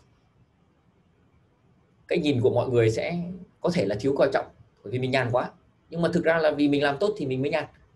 Ờ, còn với DevOps nếu bạn làm tốt bạn không bao giờ nhàn đâu. Ticket của bạn không bao giờ được uh, vơi. Uh, nếu các bạn làm việc uh, ở các cái ở vị trí DevOps hoặc đặc biệt là SRE chẳng hạn thì uh, khẳng định với bạn rằng một tuần các bạn nhận được 5 hay 10 ticket nào đó. Nếu các bạn làm hết trong vòng uh, nửa sprint chẳng hạn thì người ta lại phải suy nghĩ lại. Vậy thằng này giỏi quá. Thằng này nếu mình giao cho nó số lượng ticket như vậy thì có thể là đang đánh giá thấp khả năng của nó thì các bạn sẽ để được thêm ticket mỗi ngày. Tức là bạn không bao giờ nhàn à, ờ, nó giống như cái túi thạch xanh vậy. Các bạn làm hết ticket thì các bạn sẽ được giao cái mới. À, đó là cái việc mà các bạn phải chấp nhận. Khi các bạn làm ở vị trí ờ, uh, RA hay DevOps à, các bạn luôn có thứ để làm không bao giờ nhàn rỗi. À, tất nhiên là cơ hội nào cũng đi kèm với thách thức. À, khi các bạn làm DevOps thì một trong những vấn đề lớn nhất là các bạn phải chấp nhận mạo hiểm. Uhm, bây giờ mình thấy thì ờ, theo cái quan sát của mình thôi thì DevOps xu hướng là trẻ hóa dần. Tức là không có nhiều uh, DevOps mà có nhiều năm kinh nghiệm làm việc trong ngành IT uh, ờ, mười mấy năm trở lên. Một lý do đơn giản là khi mà người ta làm việc đến mười mấy năm rồi thì sẽ rất có ít người muốn chuyển sang làm DevOps hay những công việc khác bởi vì nó mạo hiểm quá. À, cá nhân mình cũng có cái trải nghiệm đó khi mình làm sysadmin trong vòng 10 năm. Trước khi mình chuyển sang mình làm DevOps. Thì lúc đó mình cũng ba mấy rồi. Thì cái mình đang làm một sysadmin ngon lành. Uh, cũng thu nhập cũng tốt. Uh, nói chung là công việc cũng tốt. Và giống như kiểu là một mình một cõi vậy. Uh, mình không gặp quá nhiều áp lực vì thực ra là xung quanh cũng không có quá nhiều người giỏi hay là đặt lên cái thách thức cho mình. Thì khi mình chuyển sang làm DevOps thì mình phải chấp nhận là từ cái cái level là senior sysadmin khi mình đang làm DevOps thì mặc dù kiến thức về sysadmin của mình cũng giúp khá nhiều nhưng mình lại cũng thiếu khá là nhiều kỹ năng của một DevOps. Thì mình phải học lại từ đâu? Đó là sự mạo hiểm. Bởi vì lúc đó mình phải chấp nhận một cái tâm thế khác là bây giờ mình không còn là senior nữa trong mảng này mình chỉ là junior uh, có thể mình sẽ bị uh, uh, gọi là đánh giá dựa trên những cái mà không phải là điểm mạnh của mình. Thì nếu thực sự các bạn thèm uh, đam mê cái công việc này các bạn phải chấp nhận cái mạo hiểm đó. Đó là điều rõ ràng. Các bạn không thể nghĩ rằng mình là senior ở, ở vị trí cũ sysadmin mình khi bạn chuyển sang làm DevOps. Các bạn coi như là uh, trong nhiều trường hợp hay giống như một thời gian trắng các bạn phải học rất là nhiều thứ mới. Uhm, và mình phải xác định trước cái cái cái mạo hiểm đó. À, tất nhiên là cái gì cũng đáng thôi. Sau này thì các bạn khi các bạn chấp nhận cái đó thì các bạn sẽ được hái quả ngọt sau này. À, áp lực lớn đúng không à, ờ, như mình đang ờ, ở vị trí của một sysadmin chẳng hạn hoặc các bạn khác ở một vị trí của một senior Java developer chẳng hạn. À, mình cực kỳ giỏi trong mảng đó đi thì khi mình chuyển sang làm DevOps mình sẽ bị một áp lực rất là lớn với cái việc là mình phải uh, học thêm rất là nhiều các cái kiến thức mới khác nhau. Uh, như mình chia sẻ là mình có rất nhiều các cái kỹ năng uh, uh, DevOps đòi hỏi rất là nhiều các cái kỹ năng khác nhau. Ờ, vô hình là nó sẽ tạo ra một cái áp lực rất là lớn. Và dưới cái áp lực đó thì mình sẽ phải nói chung là thời gian mỗi người như nhau. À, mình chỉ có 24 tiếng mỗi ngày. Thì mình phải cày cuốc, còn nói chung mình cũng phải cày ngày, cày đêm à, để mình học nhanh nhất có thể. À, ờ, để mình chứng tỏ bản thân. Thì khi mình chuyển sang làm DevOps thì đó là một cái áp lực mà nó rất là lớn. Ờ, một cái thách thức khác của cái vị trí DevOps, mình nghĩ cái này là có thể gọi là chung nhưng mà ở DevOps thì nó thể hiện rõ hơn, là cực kỳ dễ bị tụt hậu à, nếu như trước đây khi mình làm sysadmin đặc biệt là mình làm ở trong các cái mạng Unix chẳng hạn giống như là HPUX hay là IBM AIX những cái hệ điều hành hoặc là những cái hệ uh, nền tảng sinh thái mà nó không có quá nhiều thay đổi uh, thì mình cũng ít bị tụt hậu hơn. Mình sẽ dễ dàng cập nhật. Nhưng khi mình làm DevOps thì đặc biệt là khi mình làm cloud chẳng hạn thì các bạn sẽ thấy là cloud thay đổi với một tốc độ chóng mặt. À, à, đặc biệt là khi mình làm với môi trường mà nhiều cái cloud khác nhau nữa thì các bạn sẽ thấy ví dụ như là AWS, uh, ờ, Azure hay là GCP um, những cái nền tảng này họ có release gần như là hàng tuần. Uh, và hàng có thể là hàng tháng họ có những cái product mới. Thì mình phải liên tục cập nhật. Uh, cái giải pháp của mình nửa tháng trước hoặc một tháng trước. Nó có thể được coi đang là coi là best practice. Thì sau một tháng người ta ra một cái product mới uh, nó thay nó nó có những cái ưu điểm cao hơn rất nhiều so với cái cũ. Thì lúc đó cái best practice cũng đã thay đổi và mình không cập nhật thì một ở một khía cạnh nào đó mình cũng đang bị tụt hậu. Uh, một thách thức khác nữa là cạnh tranh cao. Đây mình đang nói là cạnh tranh ở trước trong và sau khi làm DevOps. À, cạnh tranh cho việc phỏng vấn. Công ty mình uh, phỏng vấn rất là nhiều DevOps. Uh, và hình như tỷ lệ chỉ là 10 trên 1 tức là phỏng vấn 10 người thì may ra được một người à, vào vòng sau. À, còn vào vòng sau mà có đi tiếp được không nữa thì còn hên xui. À, ở cái công ty cũ của mình trước đây mình phỏng vấn khoảng độ theo mình nhớ đâu đó khoảng 50 đến 60 ứng viên khác nhau. Thì rồi cuối cùng cũng chỉ chọn được một người. À, tất nhiên cái đó không phải là do mình khó mà đấy là do cái cái ờ, cái chuẩn mà bên tổng công ty đưa ra. Và mình ở vị trí đó thì uh, mình được giao nhiệm vụ là phỏng vấn ứng viên. Thì nói chung là trên tinh thần là mình muốn kiếm người chứ mình không muốn gây khó cho ứng viên. Nhưng mà đơn giản thôi cái tiêu chí nó rõ ràng rồi nếu bạn làm mà cốt không chạy chẳng hạn hay là um, uh, ờ, CI/CD của bạn quá rối rắm thì bạn bị đánh fail.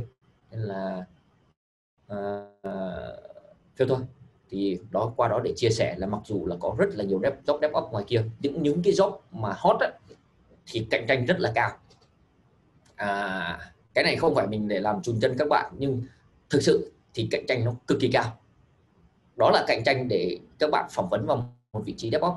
Còn khi đã vào làm DevOps rồi thì cũng lại có cạnh tranh nữa. Uh, nếu may mắn các bạn làm ở một cái công ty mà DevOps outsource chẳng hạn thì mỗi DevOps làm việc ở một cái dự án khác nhau chẳng hạn thì các bạn sẽ ít thấy cái cạnh tranh này. Nhưng nếu như đó là một doanh nghiệp lớn họ có product riêng và có rất nhiều DevOps làm việc trong đó thì các bạn sẽ thấy được sự chạy cạnh tranh ngầm. Đây mình gọi là nói chung trong nhiều trường hợp thì nó là cạnh tranh một cách lành mạnh. Tức là uh, mình thấy những người xung quanh mình trẻ hơn họ học rất là nhanh. Họ khiến cho mình chột dạ. Mình nghĩ nếu như mà mình mà mình lại sợ bị tụt hậu chẳng hạn uh, thì mình cũng phải cố gắng. Cạnh tranh ở đây là, là cạnh tranh về trình độ một cách lành mạnh. Thì mình nghĩ cái đó cũng là một cái động lực để khiến cho cái team DevOps mạnh hơn nếu như trong một team DevOps mà ai cũng bằng lòng với công việc hiện tại với trình độ hiện tại thì thực ra là về lâu về dài team nó sẽ không có phát triển được nhiều. Đó, à, à, buổi hôm nay mình cũng muốn giới thiệu luôn về cái DevOps roadmap mà à, mình Hải và trung tâm cũng phối hợp với nhau để đưa ra một cái roadmap à, à, nó gần gũi thiết thực hơn. Bởi vì sau tất cả những cái mình chia sẻ đây thì nó vẫn đang khá là chung chung. Thì bây giờ khi mà các bạn quyết định chuyển sang làm DevOps các bạn cần phải học gì? Đó là câu hỏi mình nhận được nhiều nhất. À, và đây là mình chỉ luôn là những cái tool những cái product nào mà mình cần phải học. Đây gọi là technical skill đó. mình không nói về soft skill.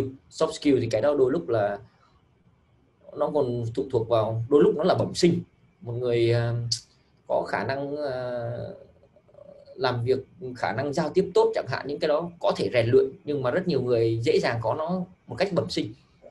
À, còn những cái kỹ năng mà mình giới thiệu đây là những kỹ năng về kỹ thuật uh, mà chúng ta cần chuẩn bị nếu chúng ta muốn chuyển sang làm DevOps. Đầu tiên là Git mình xin nhấn mạnh đó là yếu tố đầu tiên tiên quyết luôn à, bên cạnh Git thì thực ra là cũng có một số các cái suộc version control khác giống như là Subversion hay là Mercury. Nhưng mà hai cái đó thì outdated. Mình cực kỳ ít thấy công ty còn sử dụng.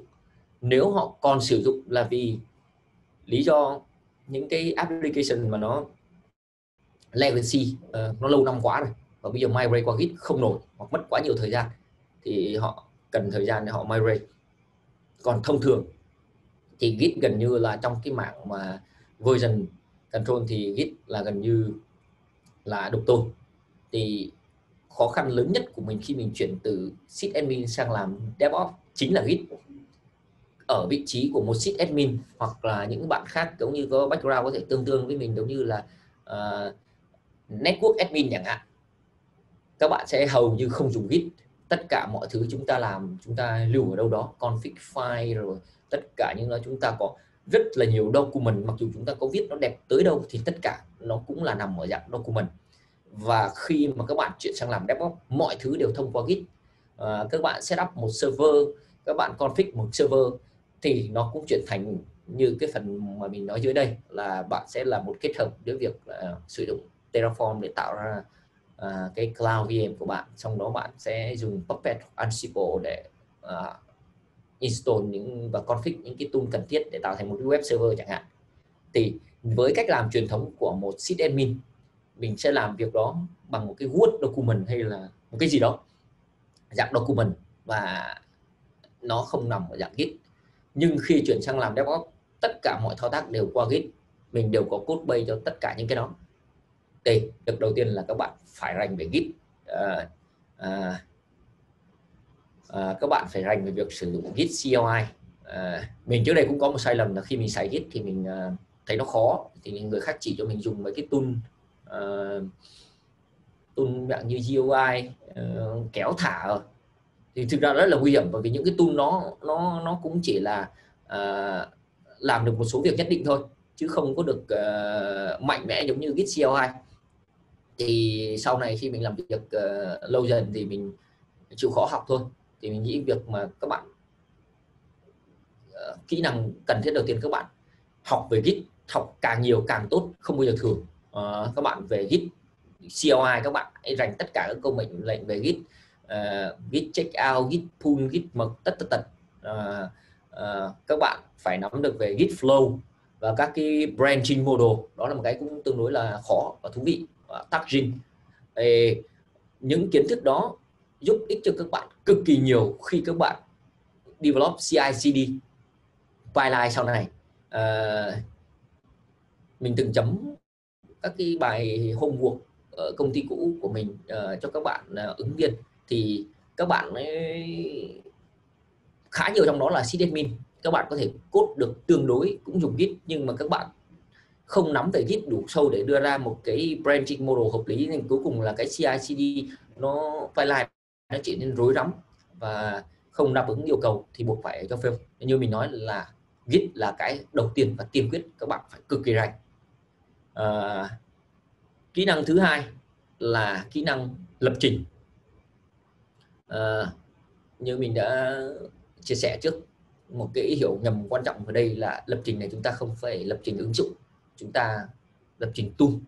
À, thì thông thường một DevOps thì bắt buộc phải rành về Bash à, hoặc à, một số trường hợp là PowerShell ví dụ mà như các bạn đã biết rồi thì trong môi trường DevOps và cái này hoặc là container thì Linux nó phổ biến hơn khá là nhiều so với Windows.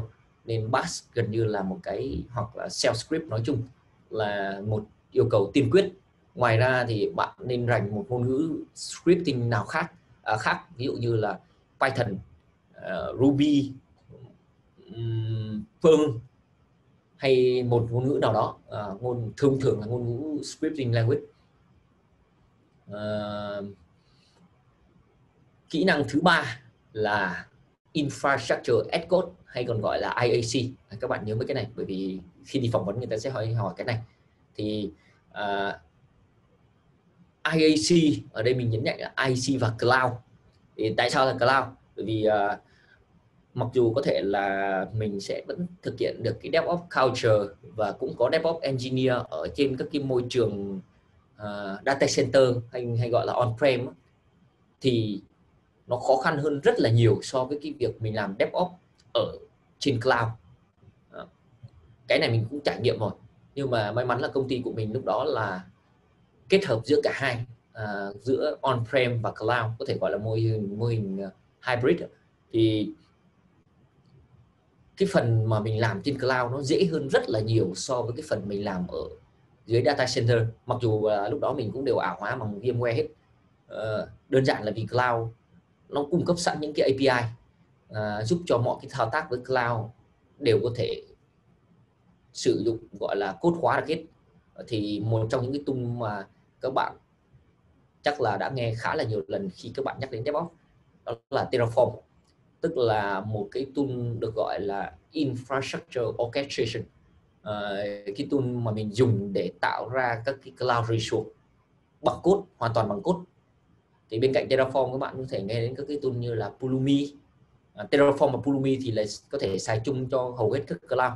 Còn bản thân mỗi cloud thì nó đều có cái tool IAC riêng. Ví dụ như AWS thì sẽ có Cloud Formation Azure sẽ có Azure Template Ờ, uh, GCP Google Cloud sẽ có Google Cloud uh, uh, Template man, uh, Deployment Manager DM đó. thì các tool nó cũng mạnh so nhưng mà nó chỉ sử dụng được trong cái cloud đó. Thì Terraform bây giờ nổi lên là một cái tên tuổi dẫn đầu trong cái mạng IAC uh, bởi vì nó tích hợp được với tất cả các cloud hầu hết mọi cloud. Và không chỉ cloud mà nó còn support cả VMware và rất nhiều các thứ provider khác một mảng khác của IC là configuration management. À, như cái cái tool mà các bạn cũng rất là hay nghe tới là Ansible, Puppet, Chef mà Solstack thì các tool này có chức năng gần giống nhau. À, dùng để quản lý cấu hình ở trên các cái ờ, uh, OS như là Linux, Windows. À, tiếp theo là container và Kubernetes.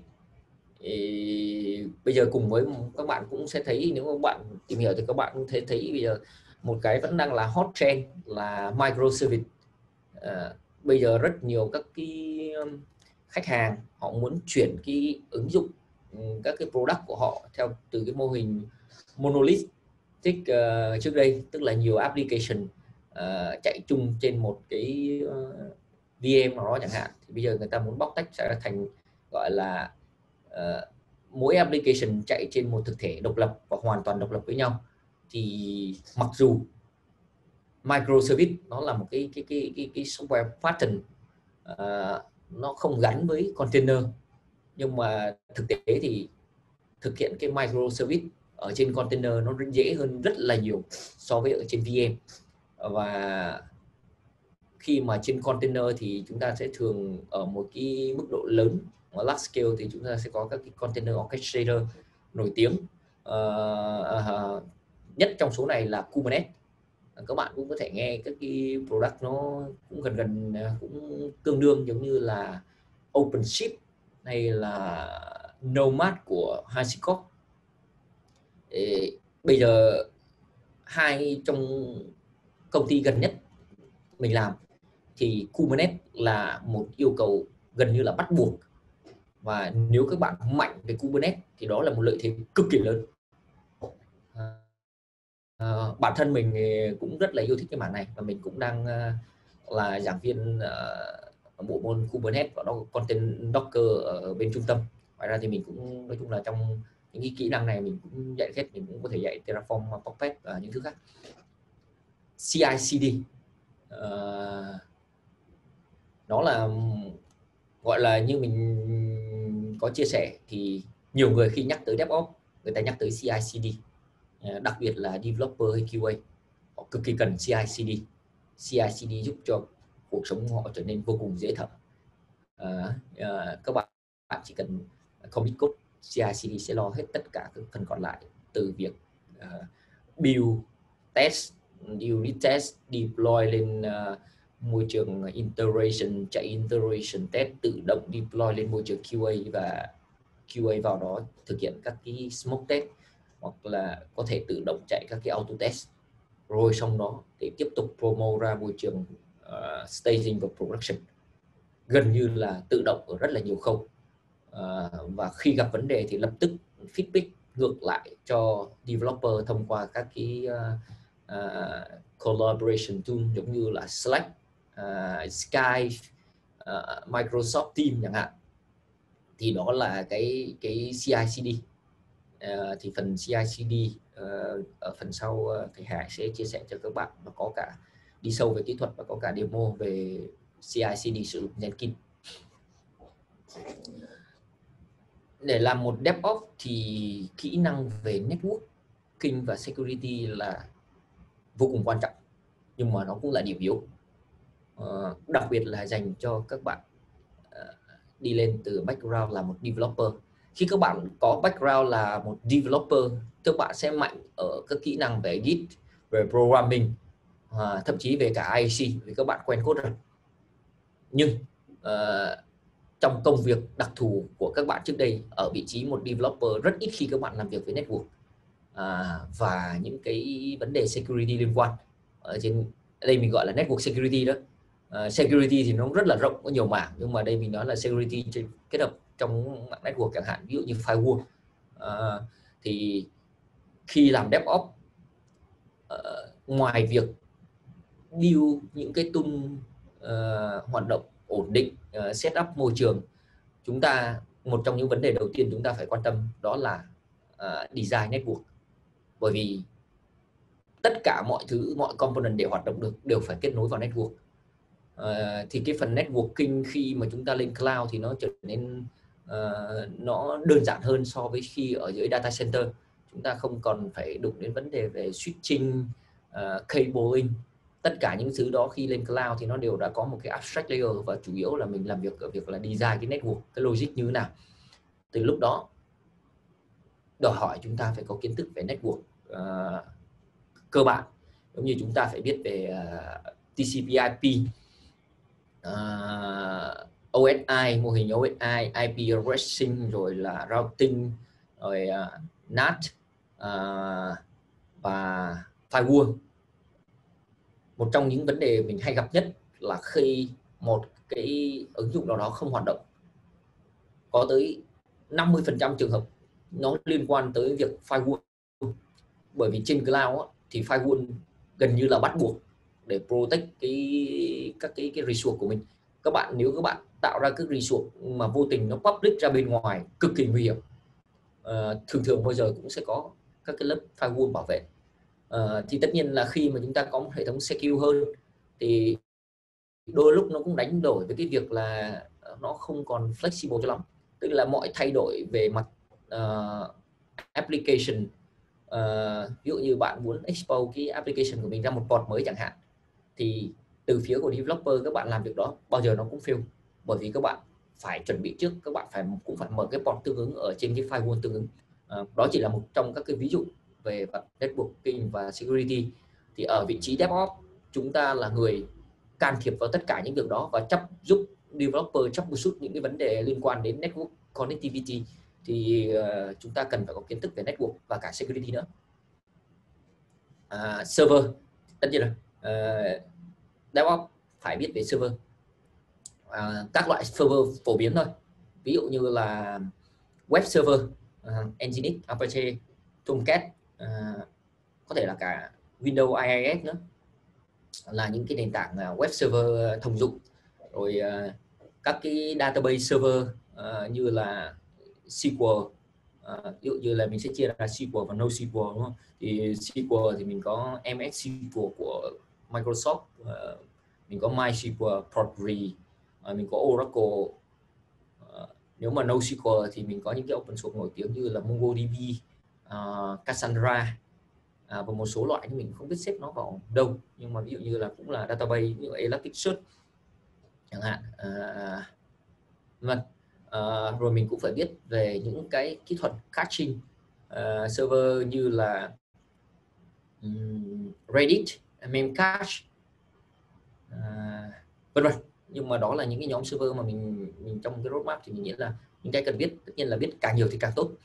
À, mình cũng phải biết về DNS uh, à, Active Directory những cái giống như là xương sống của một cái uh, infrastructure core vậy. Uh, monitoring và logging. Uh, monitoring là cái phần mà nói chung là nó không có ảnh hưởng trực tiếp đến cái application của các bạn nhưng mà không có monitoring thì mình giống như bị mù vậy. Mình uh, không biết điều gì đang xảy ra trong hệ thống. Uh, nên trong một số trường hợp thì cái monitoring server nó cũng quan trọng không kém gì các cái application server. Bởi vì khi mà vì lý do nào đó chúng ta bị downtime cái monitoring server thì lúc đó chúng ta không còn quan sát được toàn bộ các cái hệ thống của mình ở trong infrastructure. Uh, uh, là mình như là các bạn cũng cần phải chuẩn bị cho mình một kiến thức tốt về monitoring và logging đặc biệt là logging.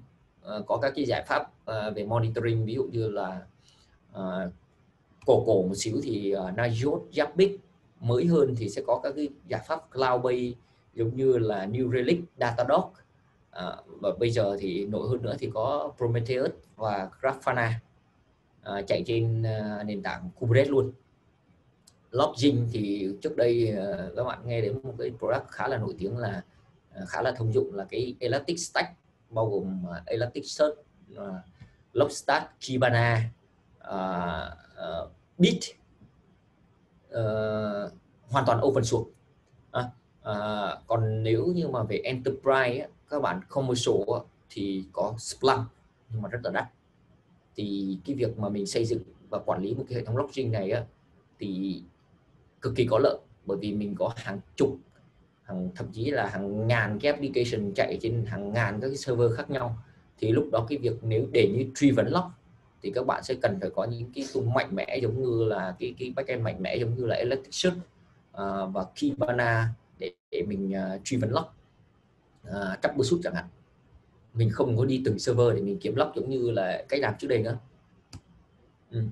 thì mình cũng chia sẻ một ít về cái kinh nghiệm phỏng vấn DevOps mà mình từng trải qua.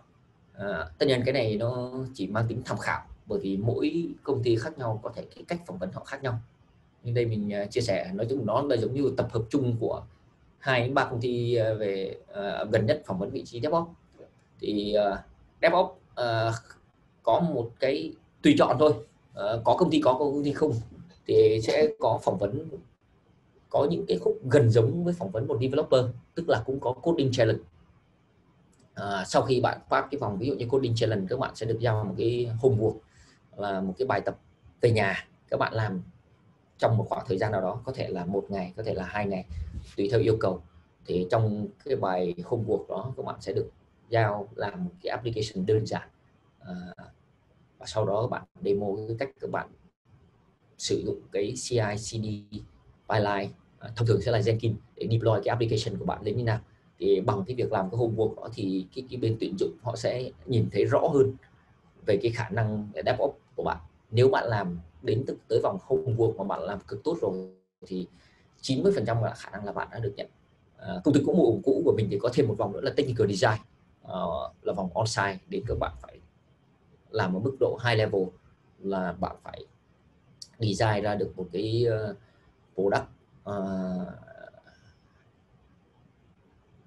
nói chung là có nhiều component khác nhau và nó thể hiện cái khả năng các bạn nói đúng là nó sẽ là cloud architect bạn sẽ dùng thành phần nào ở trên một cái cloud nào đó để hiện thực hóa cái cái cái cái cái cái cái, cái technical design đó. Ờ, và tất nhiên là sẽ có một cái phần về hỏi đáp thôi. Ờ, người phỏng vấn sẽ hỏi mình các câu hỏi mình trả lời. Thì uh, mình có một số các cái chia sẻ về các cái phần này như sau. Về phần coding challenge thì thường thường khi mình đi phỏng vấn biết có phòng coding challenge thì mình chuẩn bị khá là kỹ. Thì uh, nếu như mà một thời gian uh, dài cỡ vài tháng các bạn không code thì đảm bảo khi các bạn đi làm coding challenge bạn fail tức khắc.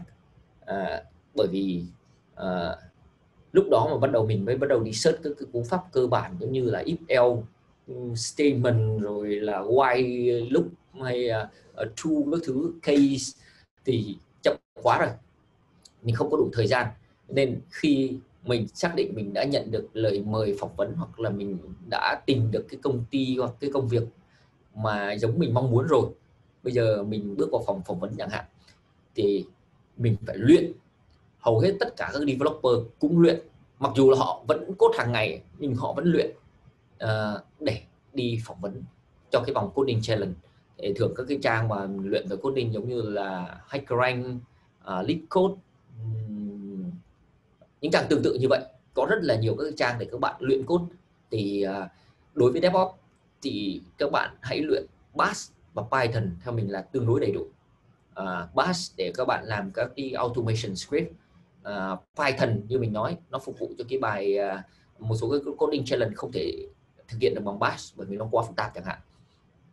Uh, và cái bài homework thì uh, nhiều công ty gần đây thì người ta sử dụng Python uh, để làm cái bài homework đó. Thì đó là hai cái cái kỹ năng mà mình nhấn mạnh và cái cách các bạn chuẩn bị. Càng kỹ càng tốt không bao giờ thừa à, về cái phần homework thì à, mình cũng có lưu ý là à, gần đây thì có một bạn à, không phải mình giới thiệu nhưng mình có quen biết apply vào bên mình. Thì tất nhiên mình không phỏng vấn bạn đó nhưng mà cái bạn mà phỏng vấn cũng chia sẻ với mình là bạn nó fail.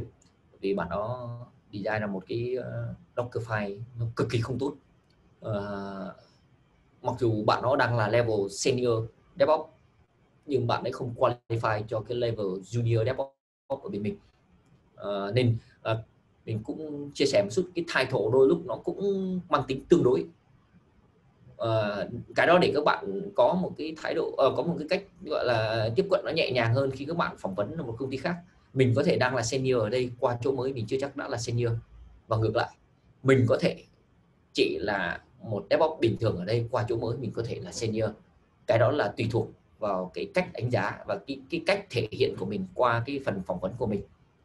Uhm, quay trở lại với cái bài homework thì ngoài cái việc á, mình cốt tốt mình gọi là cốt một cái app nó logic nó tốt à, có một cái CI CD nó khá là tường minh và hợp lý thì một điểm yếu nữa là một cái nó mình cần khắc phục đó là cái documentation. À, giống như kỹ năng documentation mình đã chia sẻ slide trước thì khi các bạn đã làm bỏ công làm được một cái homework đẹp như vậy rồi thì các bạn bỏ thêm một chút thời gian các bạn viết một cái markdown language uh, uh, viết một cái file markdown uh, mô tả cái bài lab của mình và có thể những cái mà improvement mà các bạn chưa thực hiện trong đó thì những cái đó được đánh giá cực kỳ cao.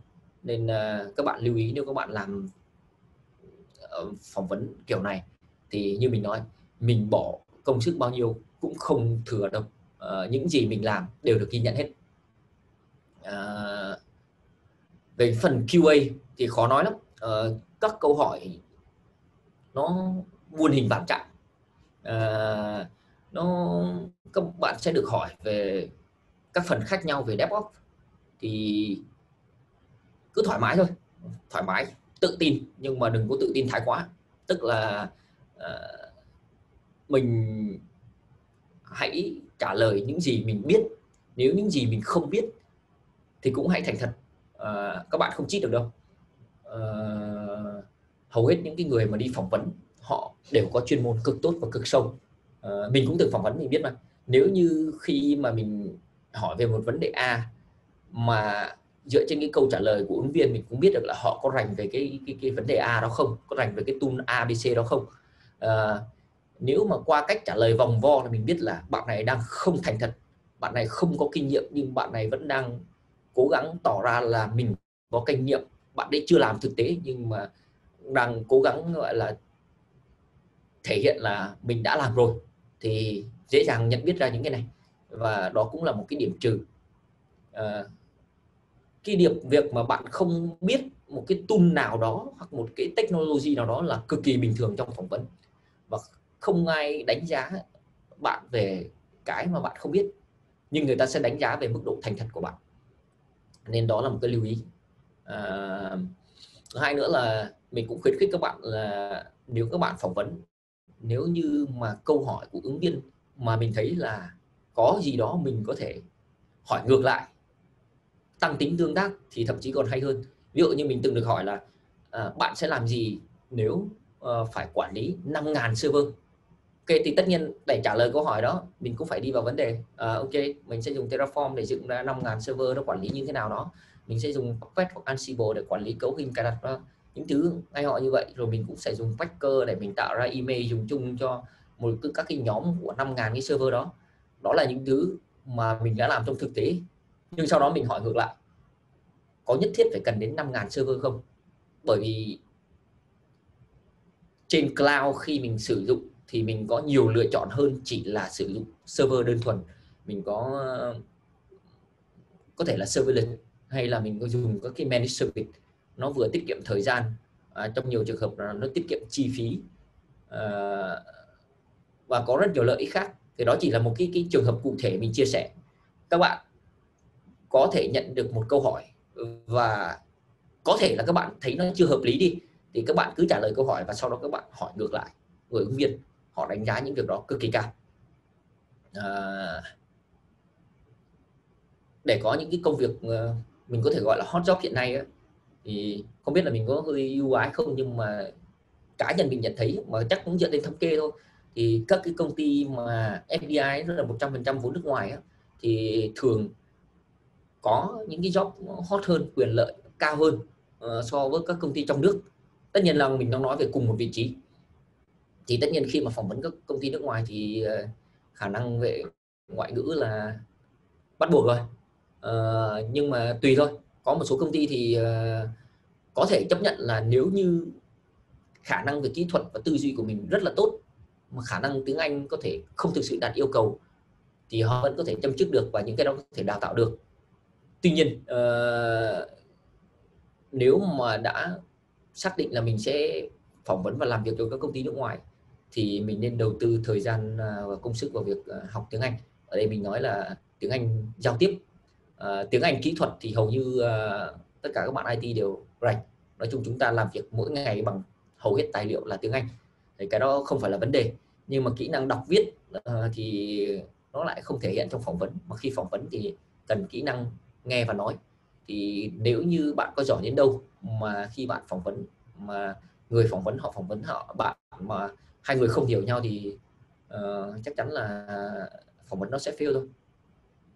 Uh, sau khi mà các bạn bắt hết tất cả các vòng này ờ, uh, chúc mừng các bạn sẽ vào cái phần quan trọng nhất uh, là thỏa thuận về lương.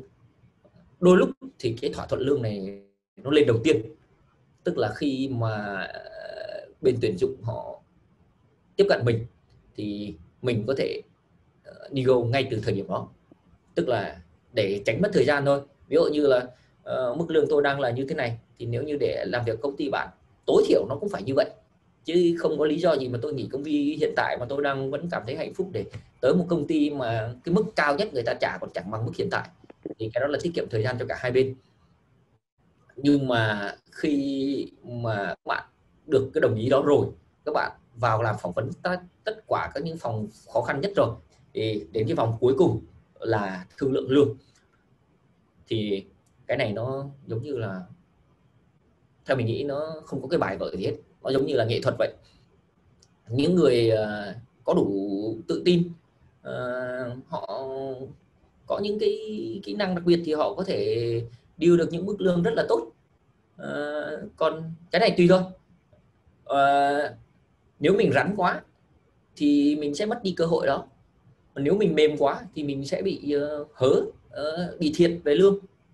À, thì uh, mình mình thì mình dựa trên một cái tiêu chuẩn là và cũng mình cũng có nói chuyện với một số các bạn làm việc trong ngành tuyển dụng thì thông thường nếu không có gì quá đặc biệt thì cái mức lương mà bạn nhận được ở chỗ mới nó sẽ đâu đó không quá cao quá 30 phần trăm hơn so với cái mức lương hiện tại bạn có à, bởi vì tuyển dụng người ta cũng không ngốc đâu. Người ta cũng sẽ không có trả cho bạn một mức lương gấp đôi gấp ba. Trừ phi bạn đang bị trả quá thấp hoặc là bạn là một nhân tài mà các công ty họ gọi là biết tiếng rồi. À, họ săn lùng.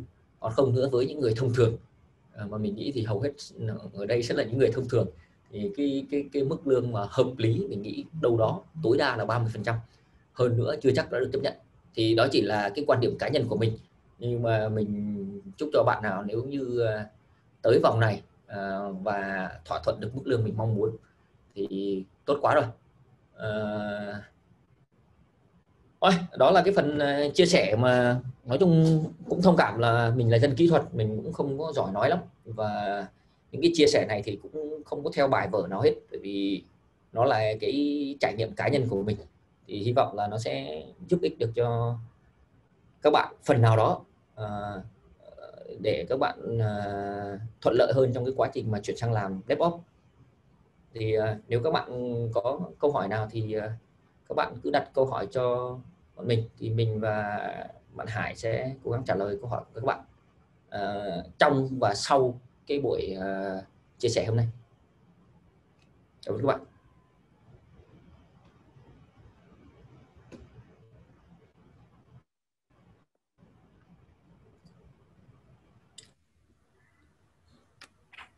Cảm ơn anh. Dạ không biết có anh nào có đặt câu hỏi cho thầy Hưng không ạ? À?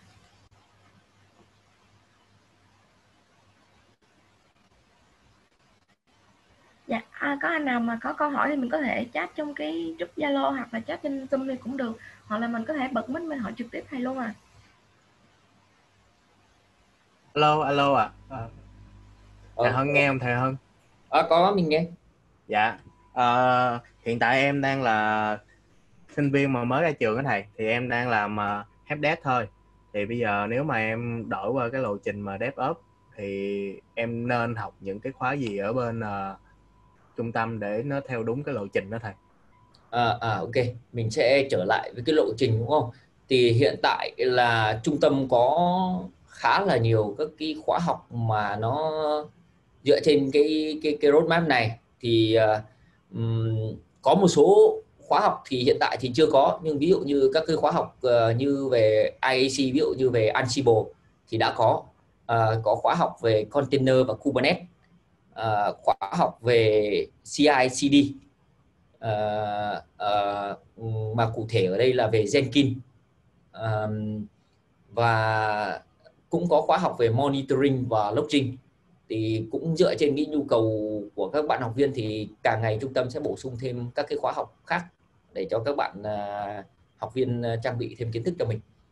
Uh, thì uh, em mới ra trường thì uh, mình đề nghị là em có thể uh, tự học một số cái mà trung tâm chưa cung cấp uh, và tham dự một số khóa học của trung tâm ví dụ như là uh, Ansible chẳng hạn. Nó là một cái cái cái cái mà cũng sẽ giúp ích uh, cho bạn rất nhiều về cái IAC một cái phần cực kỳ quan trọng của DevOps ngoài ra thì khi các bạn sử dụng Ansible thì bạn cũng có thể kết hợp với cái việc là bạn sẽ dùng Git để lưu gọi là để cốt hóa toàn bộ cái số Ansible của bạn lên Git thay vì mình để local. Thì đó cũng là một cách uh, thông thường thì cách học của mình là mình khi mình học một cái tool nào đó mình sẽ kết hợp nó với các cái tool khác uh, để trông nó gần giống hơn với một môi trường thực tế và cái việc mà mình học nhiều hơn một tool cùng lúc thì và cái việc các cái tool làm việc cùng với nhau như thế nào á, thì nó, nó nó sẽ giúp cho mình có một cái nhìn nó nó nó, nó sâu hơn về DevOps à, thì cái cái cái bạn thắng thấy câu trả lời của mình nó có đúng với cái gọi yeah. là dạ. à, bạn hồi nãy hỏi thầy là bạn tên là bạn tên là trí hiện tại là okay. Dạ. Bạn mới ra trường luôn á thầy nên là về kiến thức về basic là Linux là bạn cũng chưa nắm luôn nên là bạn cũng có đăng ký khóa Linux LDI 1 của bên trung tâm học dạ. vào uh, tuần sau á thầy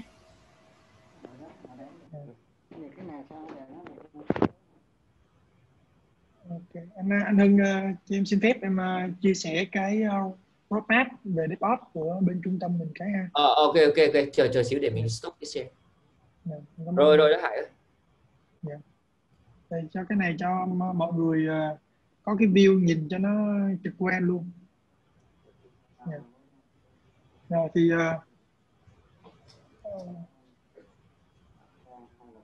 hiện tại uh, em thấy là uh, bạn chí thì, thì uh, có vẻ là, là cái kiến thức về IT á, hoặc là kinh nghiệm cũng chưa có nhiều á cho nên là nếu mà như anh Hưng có chia sẻ thì bạn chí có thể là uh, mình tập trung vô mình học những cái uh, cơ bản trước ha. Thì ở trung tâm hiện tại là uh, giống như bạn Thi có nói là uh, có cái khóa về uh, system uh, server administration đó. Thì nó sẽ dạy cho mình về những cái uh, rất hết sức là cơ bản về uh, Linux về Bash script cũng như là một số cái ứng dụng về server uh, đơn giản. À, thì để mình có thể là làm cái nền tảng để học lên những cái cái về sau. Thì uh, giống như là anh Hưng có nói thì mình cũng thấy có một uh, cái ví dụ như là mình thì cũng nên biết là cái cách sử dụng cái server đó cũng nên biết được cái cách mà uh, cấu hình cái đó trước khi là mình uh, chuyển qua về infrastructure code. Đúng không? thì nó sẽ là là hợp lý hơn. Nếu mà mình không biết là mình chuyển qua liền thì có thể là nó sẽ uh, gây cũng cũng sẽ là hơi hơi khó khăn. Đó là là uh, mình có bổ sung một cái ý như vậy. Uh, thì hiện tại có một cái bạn à, tên là à, Raymond có hỏi một câu là à, từ QA à, mà muốn chuyển sang DevOps thì cần những kỹ năng gì thì à, cho mình hỏi thêm một chút á là không biết là cái bạn uh, Raymond này là hiện tại mình đang làm QA nhưng mà mình uh, là manual test hay là mình là automation test ha?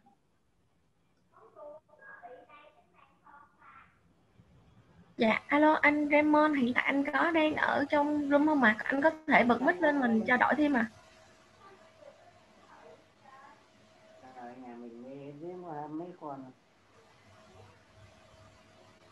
À, thì cho bạn hỏi mình bạn Raymond đó là mình đang làm uh, QA á thì mình đang làm uh, manual test hay là mình đang làm uh, automation test? À, sắp tới là em chuyển sang làm manual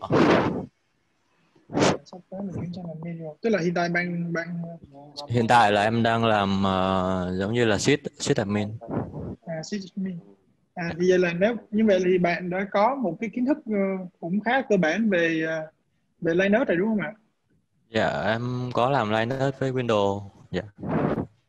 Thì uh, cái trường hợp này thì uh, theo mình tư vấn thì uh, uh, bạn nên nếu mà bạn đã làm QA thì mình nên uh, nghiên cứu trước một cái uh, những cái chuyên môn về QA ví dụ như là về cái automation test là những cái tool biết về unit test hoặc là đó thì để mình có thể là áp dụng uh, từ đó ra uh, về cái CI CD thì mình sẽ thấy được cái uh, cái cái cách mà mình tiếp cận về cái uh, cái roadmap của mình về DevOps nó sẽ uh, dễ dàng hơn và nó phù hợp hơn với lại là cái công việc hiện tại luôn.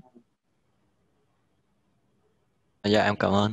Dạ thì uh, như anh uh, anh Hưng cũng đã trình bày á. Mình phổ F2 gì em nhớ. À. À, như các bạn nào đang nói mình xin phép được uh, tắt mic đây. À, thì như anh Hưng cũng đã trình bày á à, thì bên mình cũng có à, một cái khóa về Jenkins ha.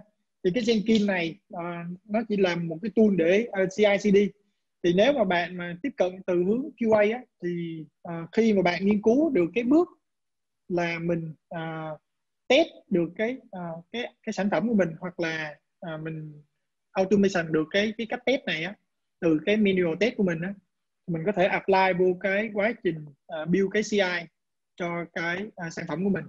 Thì uh, mình có thể là uh, mở rộng ra cái chuyên môn của mình tức là mình áp dụng từ cái công việc hàng ngày của mình để mở rộng cái kiến thức cho mình. Và mình áp dụng ra được cái à, cái chuyên môn để sau này mình có thể dễ dàng mình đưa hướng mình chuyển qua DevOps. Nó sẽ à, hiệu quả hơn. Dạ, dạ anh cho em hỏi chút xíu là uh, mình có cần tìm hiểu sâu hơn về lập trình mà uh, kiểu như là uh, develop mà um, tìm hiểu sâu hơn không ạ? Ý là cái này thì uh, mình chia sẻ lúc đầu á, là các bạn cần có kiến thức về lập trình để bạn ờ, bạn đang là QA đúng không? Thì bạn đã cũng có cái lợi thế là bạn đã làm việc trong các dự án phần mềm. Bạn sẽ hiểu về vòng đời phát triển một cái sản phẩm phần mềm. Còn kiến thức lập trình đối với một DevOps ấy, thì như mình chia sẻ là nó không phải là lập trình về application mà sẽ lập trình về tool và ngay cả cái việc mà bạn phát triển một cái giống như ờ, bạn Hải đã share ở đây là Jenkins chẳng hạn. À, công việc chung của một DevOps là ví dụ như bạn phát triển một cái Jenkins pipeline chẳng hạn thì đó cũng là có thể coi là một phần lập trình. Bởi vì ví dụ khi làm việc sâu với Jenkins thì bạn sẽ cần uh, rành về cú pháp của Ruby. Uh, hoặc các cái tool khác. Thì như mình nói là cái ngôn ngữ lập trình ở đây nó không giới hạn vào một ngôn ngữ cụ thể mà tùy vào tool mình sử dụng uh, trong một số trường hợp thì mình sẽ phải làm quen với những cái ngôn ngữ mà nó là DSL tức là nó không phải là một ngôn ngữ lập trình thông dụng nào mà nó là một cái ngôn ngữ lập trình đặc thù của cái tool nó. Giống như Terraform thì bạn sẽ phải làm quen với việc uh, sử dụng ờ, uh, HashiCorp language. Thì uh, các bạn có thể học về lập trình tự học nhưng mà mình giới thiệu hai cái mà theo mình là quan trọng nhất đối với một DevOps đó là Shell và Python.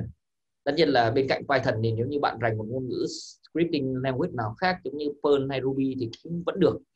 Nhưng mà thông thường trong các cái uh, môi trường uh, DevOps ấy, thì để tránh việc là mỗi người dùng một cái tool một cái ngôn ngữ lập trình khác nhau nó gây khó cho cái việc là giống như mình nói là chia sẻ kiến thức chẳng hạn hoặc là cùng nhau maintain một cái cái cái cái tool nào đó chẳng hạn thì người thì viết Perl người thì viết Ruby nó sẽ gây khó khăn. Nên giống như công ty mình hiện tại thì thống nhất là dùng Python.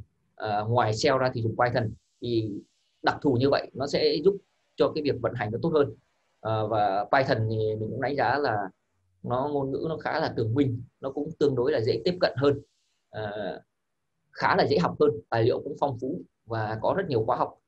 Đó là hai cái mà bạn cần học uh, khi bạn muốn chuyển sang làm DevOps thì uh, hình như bạn đang làm thiên về Windows hơn đúng không?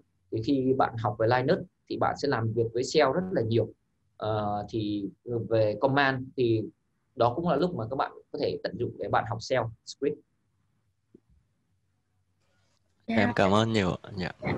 em cảm ơn uh, câu trả lời của anh Hưng với lại anh uh, anh Hải. Hiện tại có một anh tên là Bi Nguyễn có gửi lên một câu hỏi lên cho group của mình là hiện tại anh Bi đang là application dev 2 năm kinh nghiệm và rất hứng thú với việc DevOps để tự deploy các project cá nhân à, cho em hỏi về lộ trình rẽ nhánh của app dev đi đến DevOps và cộng với app dev cách một cách hợp lý và hiệu quả nhất thì chắc là nhờ hai anh trả lời câu hỏi này cho anh Bi Nguyễn à. à ok thì uh, uh, mình cũng xin uh, uh, trả lời câu hỏi của bạn ha. Thì nếu mà bạn uh, Bi Nguyễn đã có 2 năm làm dev rồi tức nghĩa là uh, về cái phần uh, cách build và cách uh, chạy một cái uh, app của bạn nó đã uh, có kinh nghiệm rồi thì mình nên uh, nghĩ là bạn có thể là uh, mình nghiên cứu sâu hơn về cái cách mà deploy. Thì cái đó là có thể là do là mình làm dev cho nên là cái kinh nghiệm đó mình chưa có nhiều thì có thể là mình tiếp cận với uh, container và Kubernetes. Thì đầu tiên là mình uh, có thể sử dụng container để mình uh, tự build một cái app để chạy trên container. Ha, và mình uh, deploy cái app đó uh, có thể chạy ở trên host trước. Nếu mà dự án nó, nó nhỏ có thể là mình tìm hiểu về cái cách mà các cái uh, module các cái application nó kết nối với nhau. Thì cái đó là ở cái mức gọi là đơn giản. Thì nếu mà sau khi mà thành thạo rồi thì mình có thể uh, hoặc là cái app của mình nó phức tạp lên thì mình có thể chuyển, ờ, nâng cấp lên là bằng cách là mình uh, chuyển qua mình học uh, uh, lên Kubernetes. Thì cái Kubernetes nó sẽ giải quyết những cái bài toán uh, phức tạp hơn của container về cái orchestration ha về high availability uh, về rolling update về uh, scale ha và discovery. Thì nó sẽ uh, có cơ hội để cho bạn uh, sử dụng cái kiến thức của bạn và uh, nâng cao về cái uh, những cái architect nó lớn ở trong uh, Kubernetes ví dụ như mình có thể apply uh, microservice như là nãy anh Hưng có trình bày. Mình uh, bổ sung thêm một xíu là khi mà mình chuyển sang về container thì thực ra là để yêu tức là bên mình cũng có một cái cái khuyến nghị với học viên là khi mình học về Docker hay Kubernetes thì mình cũng cần có kiến thức cơ bản về Linux. Bởi vì uh, mặc dù là container và Kubernetes hiện tại thì cũng đã bắt đầu support Windows nhưng mà hầu hết thì mình các app của mình vẫn đóng gói là Linux để, phát triển một cái um, app lên trên uh, container chẳng hạn. Thì mình cũng đòi hỏi những cái kiến thức cơ bản về Linux. Nên là khi mà bạn phát triển app của bạn mà như Hải chia sẻ là lên container và Kubernetes thì uh, các bạn cũng có thể chuẩn bị kiến thức nền tảng là khóa học về Linux. Uh, và khóa học đó thì bên mình cũng cung cấp luôn. Thì uh, học về Linux nó là cũng là một cái gần như là uh, Hải Hải Hải có thể trở lại cái cái roadmap của Hải uh, thì cái roadmap này khi mình bên mình vẽ cái roadmap này thì các bạn sẽ lưu ý thấy là cái màu xanh da trời á là cái tức là ví dụ như khi về server administration chẳng hạn thì cái Linux, Unix và Windows thì cái màu xanh da trời là cái mà bên mình gọi là uh, nhấn mạnh là nó là recommend tức là quan trọng hơn. Tất nhiên là khi bạn biết về cả Linux cả Windows thì tốt. Nhưng mà Linux này trong trường hợp này nó quan trọng hơn. Ý mình là nó là recommend. Khi các bạn làm DevOps thì giống như nó chiếm tỷ trọng lớn hơn và nó cũng phổ biến hơn. Thì ừ, cái, cái, cái, cái cuối buổi học này thì bên mình cũng sẽ share cho các bạn cái ờ, slide và trong đó có cái DevOps roadmap này. Thì sẽ giúp cho các bạn từ các cái uh, nhánh khác nhau. Nếu các bạn muốn tiếp cận DevOps thì các bạn sẽ nhìn vào cái sơ đồ này và các bạn thấy mình đang thiếu cái gì. À, mình đang cũng cái này cũng dễ hình dung thôi. Các bạn uh, xem lại cái mình đang rành kỹ năng mình đã có và những cái mình thiếu thì uh, dựa trên đó thì mình uh, bổ sung. Và khi các bạn bổ sung đầy đủ cái nhánh này thì các bạn sẽ gọi là đủ tự tin để các bạn chuyển sang làm DevOps. Dạ rồi, à, em cảm ơn câu trả lời của anh Hưng và anh Hải à. Không biết thì anh Bi Nguyễn thì mình đã đã nghe được câu trả lời này mình có còn thêm câu hỏi gì để cho dành cho hai diễn giả của mình không ạ? À? Anh Bi Nguyễn ơi, anh có thể bật mic lên để giao lưu với hai diễn giả được không ạ? À? à anh Bi chắc trả lời là xin phép nhường lại cho à, đã ok rồi đã xin phép nhường lại câu hỏi cho người khác. Thì có một anh tên là Trường Nhân câu hỏi là cho em hỏi là thường mình viết document bằng gì à lúc nãy em có nghe nói là Markdown à, thì cái câu hỏi này uh, cái này nó cũng à, có một cái uh, mình để ý trong cái phần uh, uh, demo của mình á. Thì chắc là mình uh, chạy uh, cũng chạy không biết kịp không nhưng mà mình cũng sẽ cố gắng mình show ra cái demo ra để cho mọi người thấy là à thì ngoài việc là mình uh, document bằng markdown ra thì cái cách mà anh Hưng có trình bày với mọi người á là ở trong uh, thực tế á, thì uh, nó sẽ như thế nào ha? Thì thực ra ở đây là mình có một cái file uh, một cái file build. Thì nếu mà các bạn uh, bỏ những cái thư mục về list về docker file ra thì đơn thuần cái cái này là nó là thư mục uh, nó gồm cái file index mà một cái file package.json này. Thì nó chỉ đơn thuần nó là một cái thư mục uh, code của một cái developer bình thường thôi đúng không? Thì nếu như mà uh, mình uh, đối với lại một cái ở DevOps culture thì mình có thể là uh, infrastructure as code.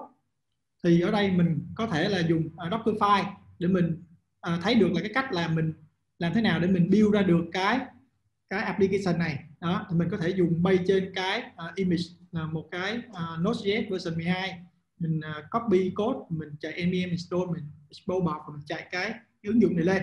Đó thì mình đã thấy được là cái cách mà mình uh, build cái ứng dụng này đúng không? Rồi tiếp theo là mình có thể dùng cái uh, Docker Compose để mình uh, chạy ứng dụng này lên kết nối với database ha. Và tiếp theo á, là mình uh, ngay cả cái cái uh, uh, CI/CD thì mình cũng có thể viết bằng cái Jenkins đây. Đây là cái à, một cái dạng đặc thù của à, đi à, uh, SL hồi nãy. Anh Hưng có trình bày với mọi người. À, thì nó nó không phải là một cái dạng code hết. Nó nó, nó rất là à, đặc thù cho Jenkins. Và à, nó cũng sẽ à, viết ra những cái cái step để mình à, chạy. Và từ đây á thì à, cái cái cách mà mình à, viết code như vậy tức là mình sử dụng cái infrastructure code như vậy thì nó sẽ giúp cho mình cái gì? Thứ nhất là mình có thể dùng những cái code này mình chạy luôn. Tức là mình sử dụng được ngay lập tức và nó ứng dụng và nó up to date, tức là nó chạy được với lại những cái hiện tại. Và cái người á, mà người ta nhìn vô những cái cái document này, thì người ta cũng dễ dàng, người ta thấy được là à cái cái app này, cái ứng dụng này chạy sao, cái sụt code này copy được mục nào, ở đây mở bọc gì, đúng không? Và à, cái này nó sẽ kết nối với database là database là gì? Là username password sao? Và cái à, cái domain hostname nó là như thế nào? Đó nó rất là à, tường minh và nó rất là dễ dàng để cho mình à, xem xét. Thì ngay cả uh, với cái việc là cái cách build cũng vậy. Ví dụ như là cái cách build cái cách test và cái cách boost cái image đó lên như thế nào thì tất cả nó đều nằm ở trong cái uh, cái cái file này. Và mình trên bờ tất cả những thứ này với nhau. Tức là à anh dev cũng biết là cái tool tôi build sao cái tool tôi chạy sao cái tool tôi được à, làm CI/CD làm sao. Và cái anh mà làm DevOps để chạy những cái này thì anh nó cũng rất là à, tường minh. Tức nghĩa là à, biết cái code nó sẽ chạy như thế nào. Tất cả mọi thứ là đều được chia sẻ với nhau. Nên là à, cái việc à, mình mà làm được như vậy á, thì à, vô hình chung là mình sẽ không có những cái hiểu nhầm giữa cái người à, làm dev và người làm ops thông thường thì nó sẽ à, giải quyết được cái cái cái black box tức là cái cái bức tường vô hình chung nó ngăn đi cái sự à, hiểu nhầm giữa hai bên. À, thì à, ở đây là mình cũng muốn à, chia sẻ cho các bạn thấy là hồi nãy là anh Hưng cũng nói rất là nhiều về cái uh, cái cách mà mình uh, làm cái infrastructure code. Thì đây là một cái cái ví dụ ha.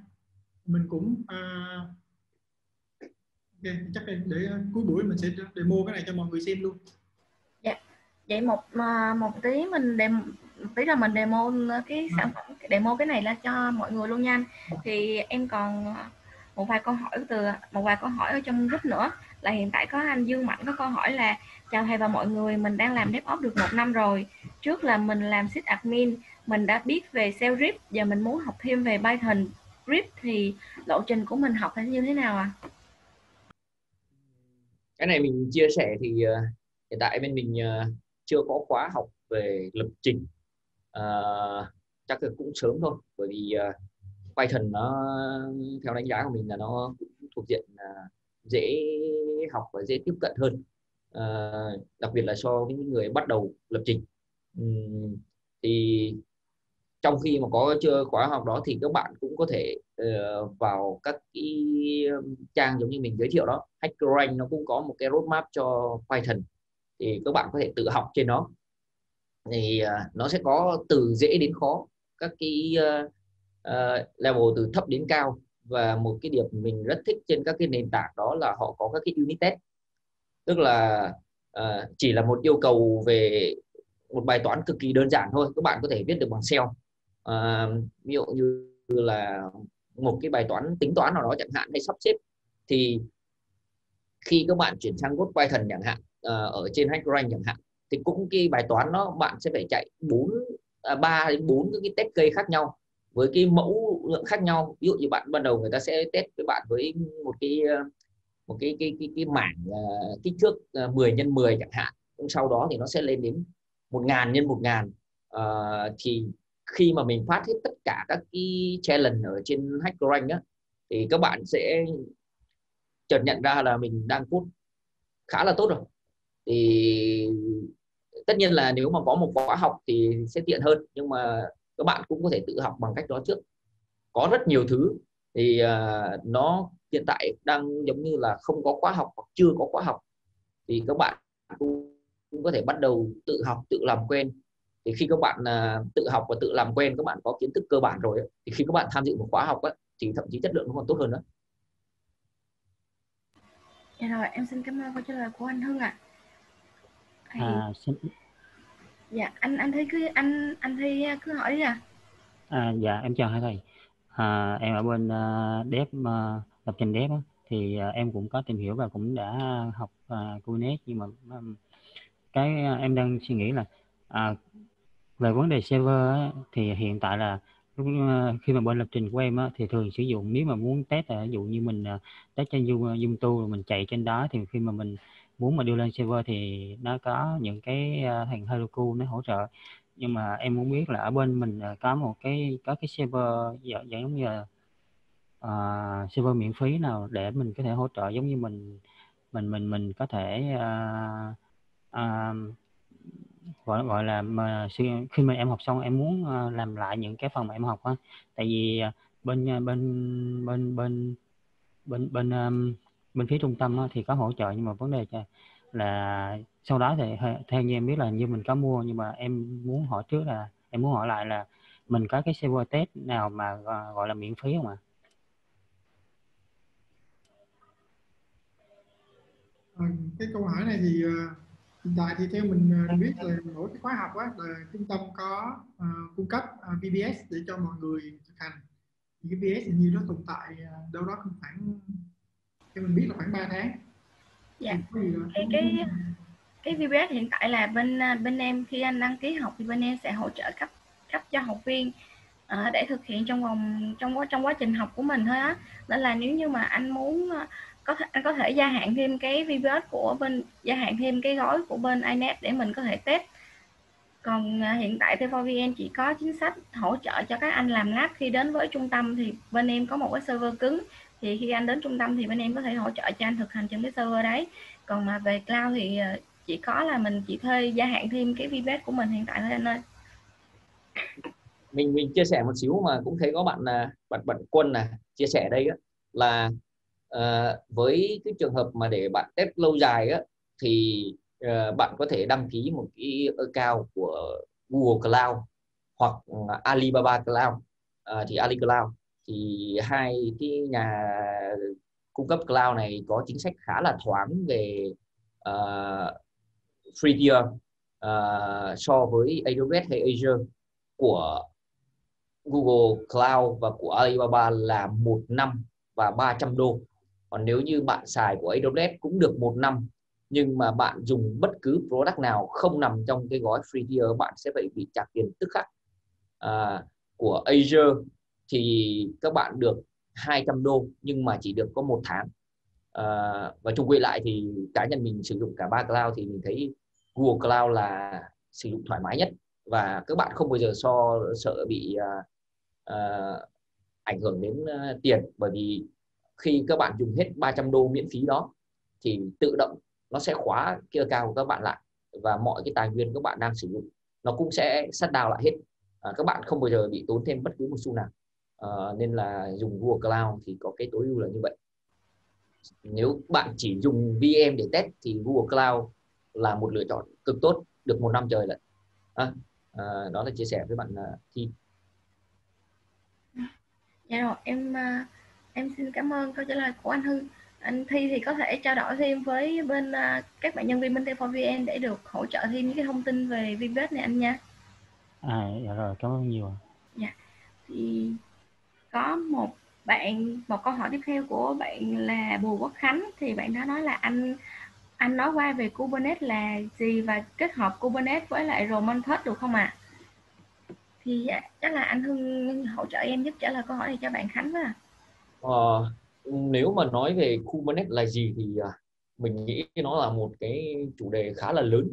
Uh, Kubernetes và bản thân Prometheus nữa thì uh, uh, mình đề nghị là bạn uh, bạn bạn bạn ờ, uh, khi quản lý lớp á, có thể là em bạn Khánh vào cái group ờ, Zalo uh, của bên trung tâm á, nó sẽ có rất là nhiều người.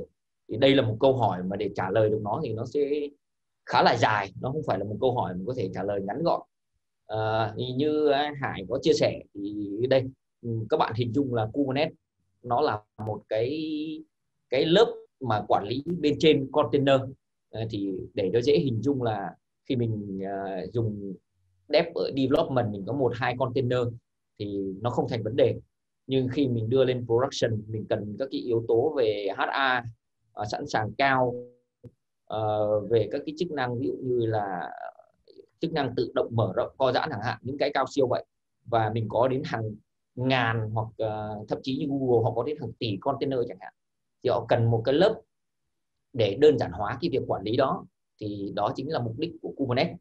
Còn à, để hiểu sâu hơn về Kubernetes ấy, và cả Prometheus nữa thì à, các bạn có thể tham dự cái khóa học à, Docker và Kubernetes ở bên trung tâm.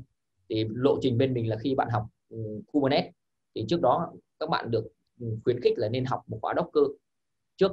Bởi vì có kiến thức cơ bản gọi là nền tảng về Docker thì các bạn lên khi các bạn lên học về Kubernetes mọi thứ nó sẽ dễ dàng và tường minh hơn còn uh, trong cái thời gian giới hạn như vậy thì mình chỉ có thể trả lời cho bạn một cách ngắn gọn như vậy thôi còn vì cái Kubernetes nó là quá lớn nên là mình uh, khó có thể có một câu trả lời ngắn gọn đầy đủ trong nội dung của một buổi chia sẻ Dạ rồi, em xin cảm ơn câu trả lời của anh Hưng ạ. À. Thì anh Khánh có thể là à, anh Khánh có thể là liên hệ với trung tâm Tiêu VN liên hệ với em trong group để em hỗ trợ cho anh à, đăng ký những cái khóa bên em hoặc là à, gửi những cái câu hỏi liên hệ với thầy Hưng đỡ những câu hỏi để giải đáp cho anh Khánh nha. Thì à, cảm ơn anh Khánh đã câu hỏi. Thì tiếp theo có anh một câu hỏi từ anh Nguyên Thái đó là chào thầy Hải và thầy Hưng, em là system admin nhưng bên Windows em có tham gia khóa LBI 1 và và đang học LBI 2 và Docker bên à, uh, T4VN em cũng xác định là theo DevOps và bám theo lộ trình của bên T4VN thầy cho em hỏi bước điểm để mình chuyển từ sys admin win sang QA sys admin open source là gì ạ à? em cảm ơn thì uh, chắc là em nhờ hai à, anh Hải và anh Hưng trả lời câu hỏi dùm anh Nguyên Thái ạ à. À. Cái này chắc uh, bạn à, Nguyên Thái mình à, xin phép trả lời. Đó là à, nếu mà thật sự mà bạn muốn ờ, chuyển từ Windows mà sang ờ, Linux á, mình thì mình cũng thú thật là mình không có kinh nghiệm nhiều trên Windows nhưng mà theo mình nghĩ thì chỉ có nước là bạn tham gia vào những cái uh, project thực tế để uh, mình sẽ có một cái kinh nghiệm mà mình làm thì mình sẽ nó sẽ là hiệu quả nhất. Còn trước khi đó thì theo mình thì uh, những cái uh, về uh, tool thì bạn nên nắm về cái cái mindset. Nếu mà Windows có mình cũng không không dám confirm ha.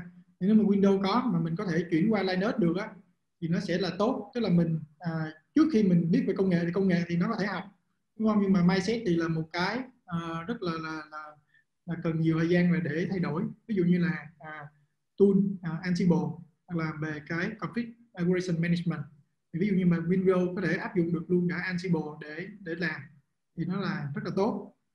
Thì mình có thể là à, tận dụng những cái cái đó để mình à, làm cái bước đệm cho mình.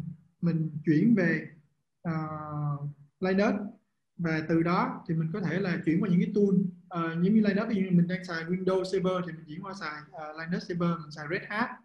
Đó. Thì nó sẽ là uh, dễ dàng hơn và Ừ, theo mình thì cái trường hợp của bạn thì nên là uh, kiếm ừ, một cái project thực tế nào đó mình tham gia thì nó sẽ ờ, dễ dàng là lên cái uh, kinh nghiệm hơn. Thì không biết là anh Hưng mình uh, có cái chia sẻ nào đặc biệt cho cái trường hợp này không ạ? Ừ, mình thì cũng hoàn toàn đồng ý với Hải là uh, có nhiều hình thức đào tạo.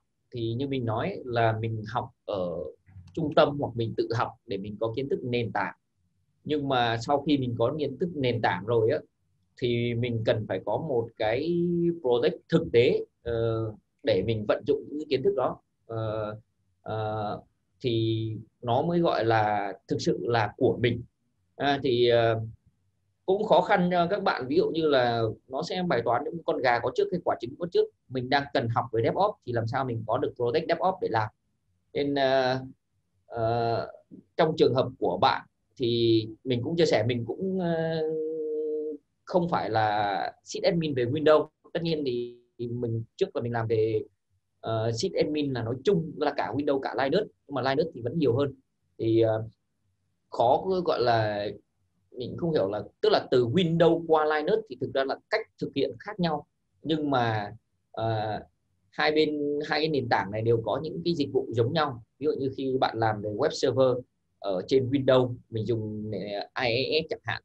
Thì bây giờ bạn muốn học Linux thì bạn sẽ kiếm một cái product tương đương với web server đó ở bên Linux. À, ví dụ như là uh, Apache hay là Nginx. À, đó là cái cách tiếp cận mà Hải cũng vừa mới ờ, chia sẻ đó. Tức là bây giờ thay vì mình à, làm theo tư duy của một sysadmin mình muốn học à, Linux chẳng hạn thì mình sử dụng những cái product tương ứng ở bên phía Linux. À, và tất nhiên là uh, có thể nó chạy trên nền tảng khác nhau nhưng mà về cơ chế của một web server thì cũng vẫn giống nhau thôi. Uh, cũng là HTTP cũng là open những cái API giống nhau. Thì đó cũng là một cách mà mình uh, học uh, từ Windows qua Linux nói chung và nói riêng và học DevOps nói chung. À, và tốt nhất nữa thì bạn nên có một cái bài lab tốt à, kết hợp nhiều tool chẳng hạn à, và có một mục đích rõ ràng thay vì là mình học uh, những kiến thức rời rạc thì nó khó hơn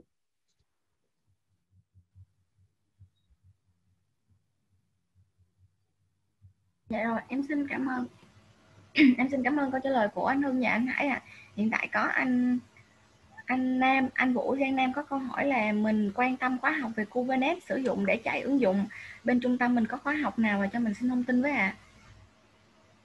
À, cái này thì uh, mình có khóa học về Kubernetes uh, và Docker. Thì có nhiều người sẽ học một cái combo cả hai cái khóa học này. Tức là mình học về Docker trước và học về Kubernetes sau thì cái khóa học Kubernetes của mình nó là tương đối là basic nó dành cho những người uh, bắt đầu uh, làm quen với Kubernetes uh, và tất nhiên thì nói là basic nhưng mà khi các bạn làm đến ở level Kubernetes rồi thì uh, basic của Kubernetes nó cũng tương đối là có nhiều thứ để các bạn học nên là các bạn yên tâm nếu các bạn học khóa học đó thì các bạn vừa có cả phần basic vẫn một phần advanced trong cái cái khóa học đó thì uh, mình cũng là một trong số các cái giảng viên mà mình đảm nhận cái lớp Kubernetes này. Yeah. Dạ bên cạnh à. cái khác và nó là một cái lớp mà mình thấy là cũng đang khá là hot ở bên trung tâm ừ. có nhiều học viên quan tâm đến cái đề tài này thì yeah. Dạ. uh, bạn cứ liên hệ với quản lý của trung tâm thì những cái khóa học đó là có sẵn. Yeah. Dạ. Hiện tại thì cái anh Vũ Giang Nam là anh đã tham gia cái lớp Docker của bên mình rồi á thì à, anh Nam anh Nam ơi anh có tiện bật mic để trao đổi thêm về cái nội dung học với thầy Hưng không ạ? À? Dĩ nhiên Thi. Chào thầy Hưng. Ờ, chào Nam thì uh, cần anh trao đổi sao anh hỏi luôn hả anh hỏi thầy thân luôn phải không anh dạ vâng anh hỏi về nội dung đi anh tại vì bữa em có em có gửi về nội dung chương trình Kubernetes cho anh Nam rồi thì dạ rồi dạ rồi hiểu hiểu rồi. Dạ rồi cảm ơn uh, Thi. Dạ, xin uh, xin được chi tiết của thầy thân luôn. Thì là hồi hồi cách đây um, hai ba cách đây hai ba tuần đó là đã thấy Thi uh, có đăng một cái khóa học bên trung tâm của mình uh, về Kubernetes. Nhưng mà khi mình đọc vào cái nội dung đó, thì nó giống như là cách hướng dẫn để mình uh, uh, uh, cài đặt setup cái môi trường Kubernetes của server local. Thì oh. mình đang hiểu nó là như vậy. Cho nên là mình mới nói là mình quan tâm cái hướng là hướng là sử dụng Kubernetes để mà triển khai áp dụng cho chạy ứng dụng luôn chứ không phải là để uh, cấu hình xây dựng cái cái cái cái hệ thống Kubernetes để cho cho bên mình. Không biết là hiểu như vậy có đúng không anh ha? Hay là à, cái này thì uh, bên mình hiện tại đang là gọi là khóa là Kubernetes admin.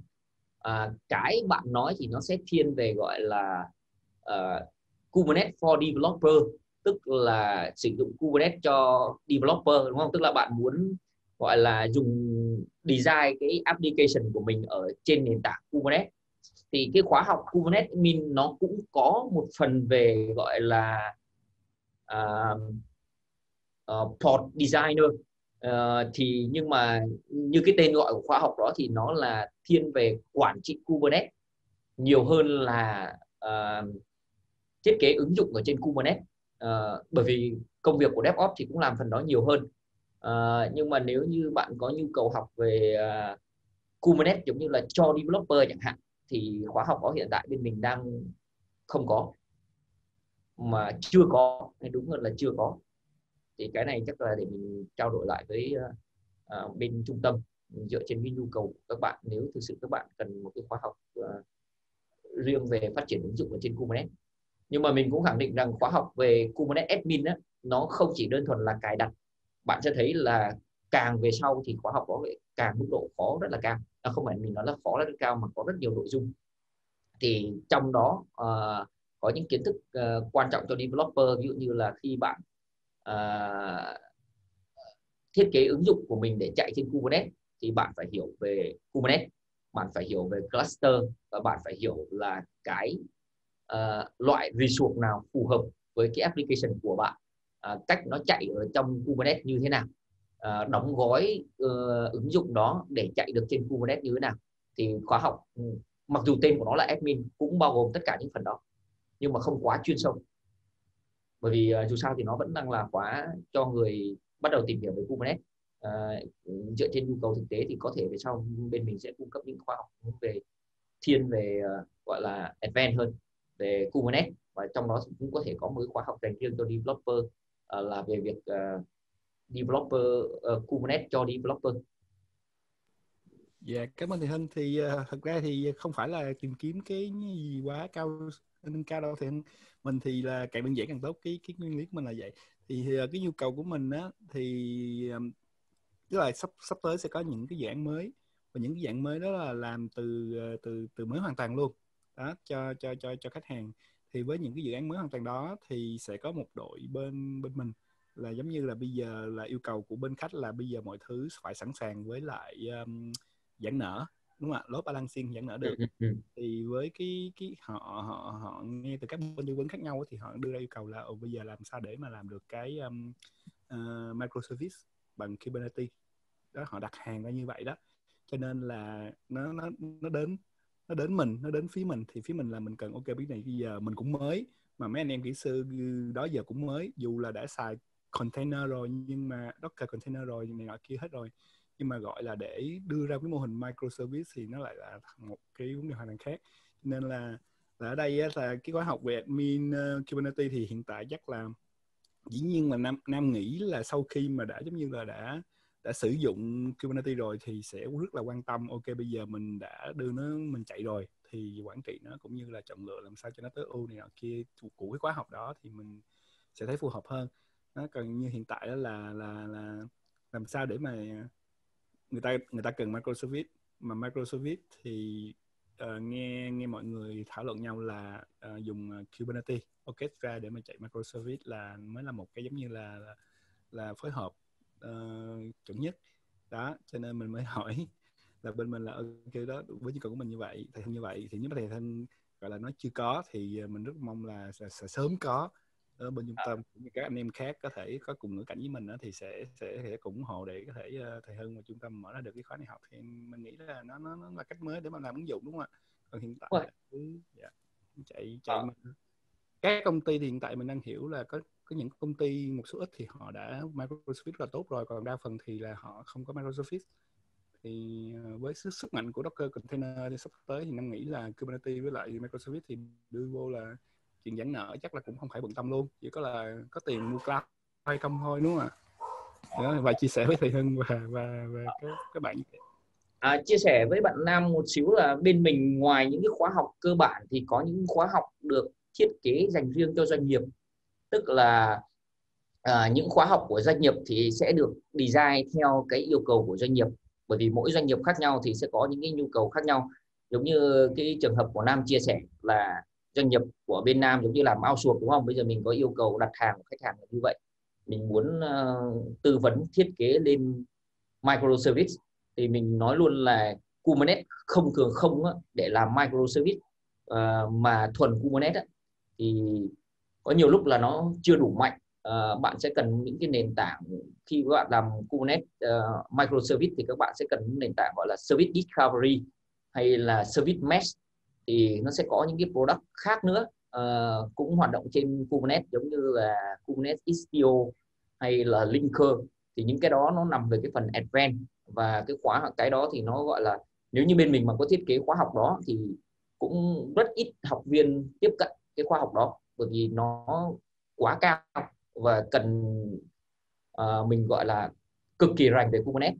Thì với những cái khóa học mà như bạn Nam chia sẻ được gọi là theo yêu cầu của doanh nghiệp á, thì bên mình cũng sẵn sàng cung cấp uh, và để có cái cái cái, cái, uh, thông tin tốt hơn á, thì nếu bạn có nhu cầu bạn có thể uh, contact hoặc là bên mình sẽ contact với bạn để uh, dựa trên những nhu cầu thực tế. Và nếu bạn có nhu cầu thì bên mình sẽ thiết kế những cái khóa học dành riêng cho doanh nghiệp uh, thậm chí là dành riêng cho cái nhu cầu đặc thù của bạn.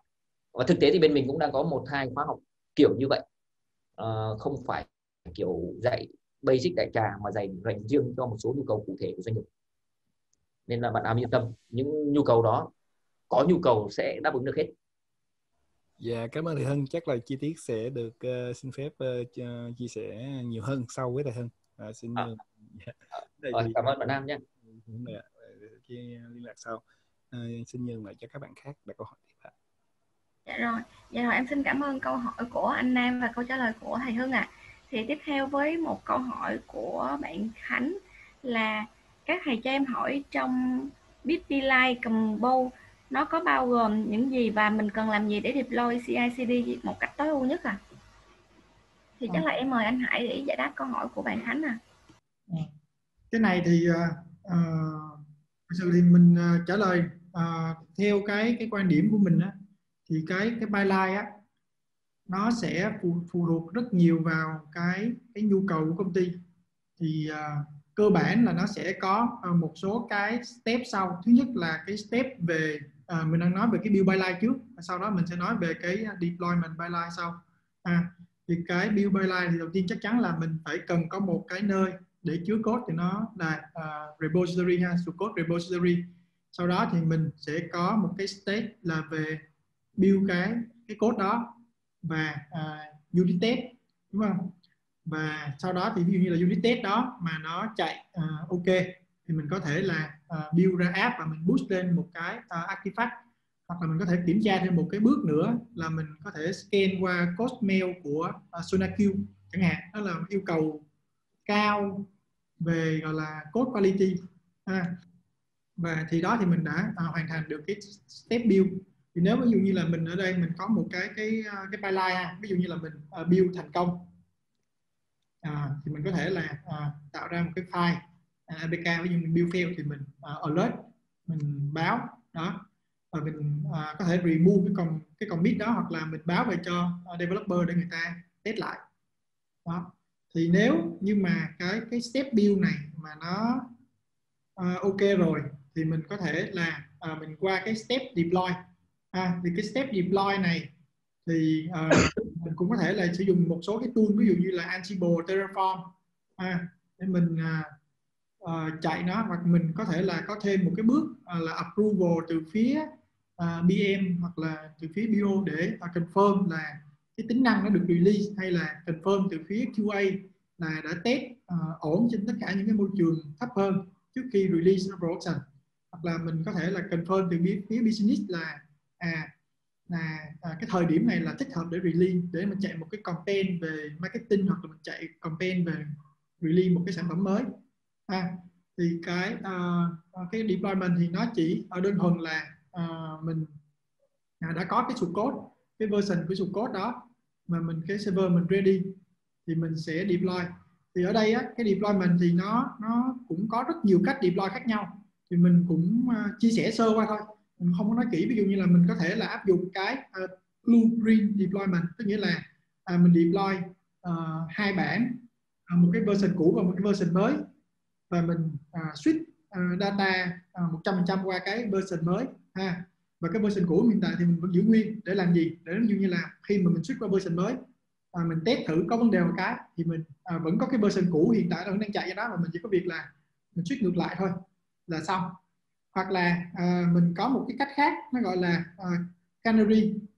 Thì canary nó sẽ khác cái blue green ở chỗ là à, thay vì là mình switch một cái là trăm phần trăm luôn thì canary là mình sẽ à, chuyển cho traffic từ từ qua 10 phần trăm 20 phần trăm từ từ theo thời gian và cái traffic của đó có thể là mình specify uh, cho một số cái user nhất định. Ví dụ như là mình có thể thêm header là cái user này uh, chuyên dành cho test cái tính năng mới. Đó tức là những cái user đó là ờ, thật ra là uh, nói user nhưng mà ra là những người trong công ty mình thôi. Và mình uh, public lên để cho người ta test để cho chắc ăn là à, với cái phương diện là một cái user bình thường thì người ta dùng cái tính năng đó. Ok trước khi mà mình à, nhấn một cái nút để mình switch thẳng qua à, gọi là một trăm phần trăm. Thì cái này nó ừ, tức là về công nghệ thì nó rất nhiều ha. Nhưng mà còn áp dụng vào cái tình huống thực tế thì phải tùy vào cái doanh nghiệp và tùy vào cái cái độ critical của cái cái sản phẩm đó. Ví dụ như là à, mình làm về banking đảm bảo là một trăm phần trăm cái ấy là ví dụ như là mình phải đáp ứng là 4 số 9 đó.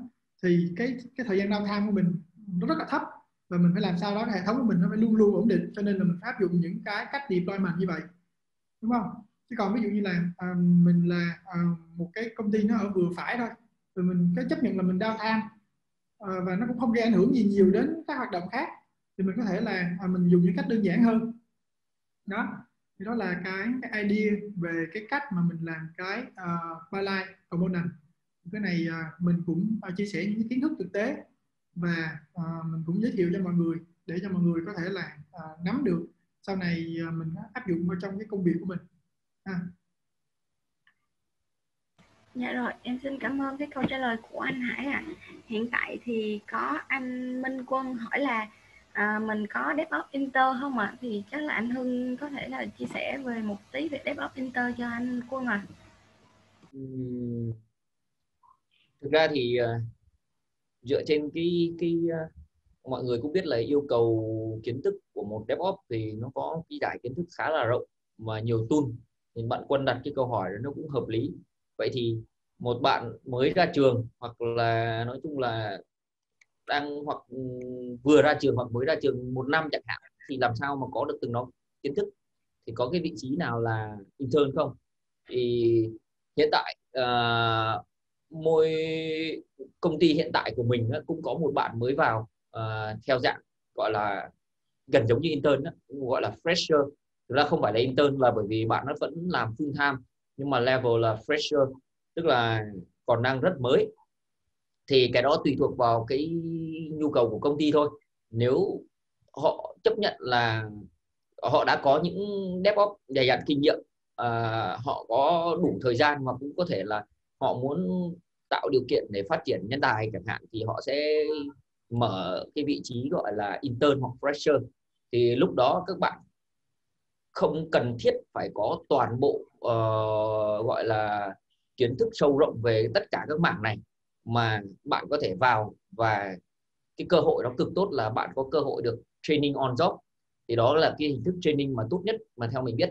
Tức là bạn được nhận vào làm thực tập hoặc là bạn vào làm full time nhưng mà chế độ fresher bạn sẽ được đào tạo và đào tạo trên cái công việc thực tế uh, thì nếu mà thực ra là công việc là vị trí đó có không thực sự phổ biến thôi mình uh, theo dõi các cái job uh, ở trên thì hầu hết là có cả junior DevOps, uh, senior DevOps hoặc DevOps lead tùy level khác nhau. Uh, intern thì mình thấy hơi hiếm. Nhưng mà bạn có thể thử lên các cái nền tảng uh, tìm kiếm việc làm nổi tiếng giống như là LinkedIn chẳng hạn. Hoặc là bạn có thể ờ, vào trong cái group của của của bên trung tâm. Bên mình có một cái group uh, uh, về DevOps trên Zalo rất là lớn mấy trăm thành viên lận. Thì uh, các thành viên như mình hay là các thầy Hải hay là người khác nếu mà có những cơ hội việc làm thì tụi mình cũng thường xuyên giới thiệu trên đó.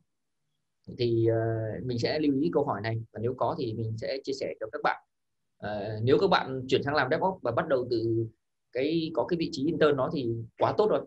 Thì không có cách nào học nhanh nhất uh, nhanh bằng cái cách là mình trực tiếp làm việc đó. Ở đây mình cũng có một cái ý tưởng này nhưng mà có vẻ là nó sẽ hơi khó cho bạn. Là mình cũng có thể bắt đầu bằng việc trí admin nhưng mà mình à, làm trên một cái à, mindset và một cái culture của DevOps ví dụ như là thay vì là mình cheat admin thì mình à, gõ comment thì bây giờ bạn à, thử chuyển những cái comment đó thành à, infrastructure as code. Ví dụ như là bạn build CI CD bằng những cái web UI thì bạn chuyển về build dưới dạng file. Ví dụ như vậy.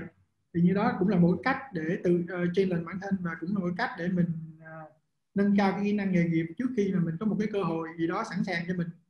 Thì mình uh, có một cái job nó chính thức hơn là việc là mình uh, đi kiếm một cái intern uh.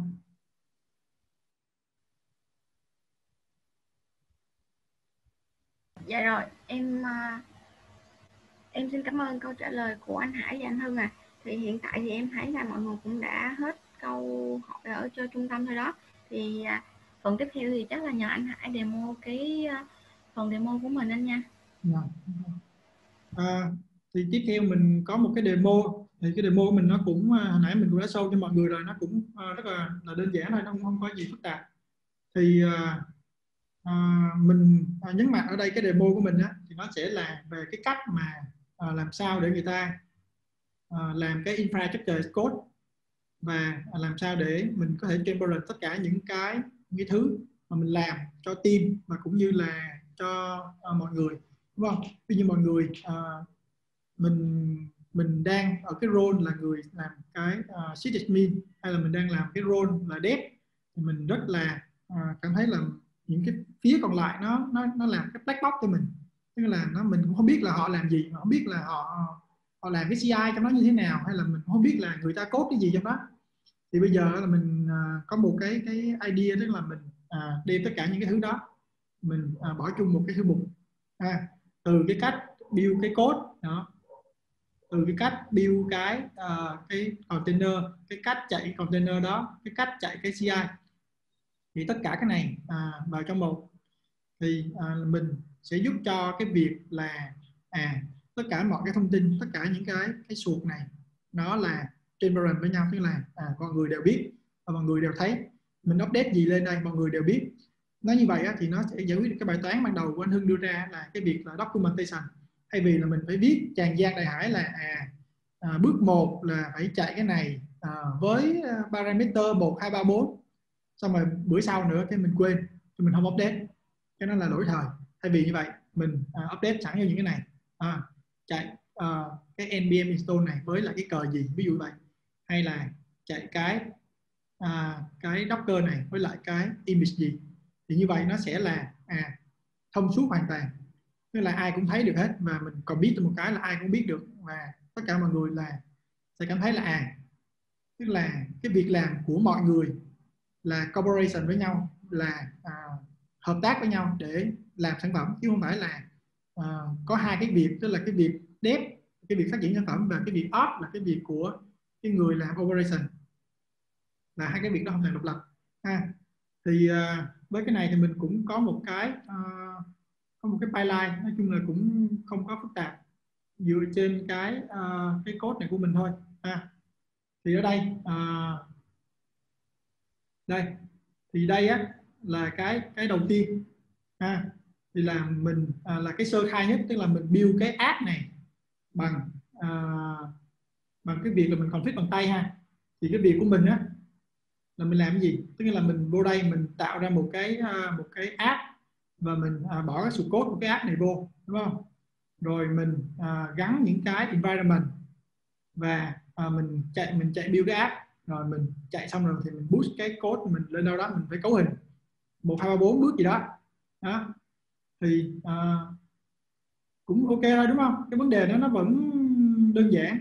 Nhưng mà à, vì mình làm người làm sysadmin cho nên là mình mới có quyền mình vô mình xem những cái step build này và mình sẽ biết được là trong đây có hình những cái bước gì.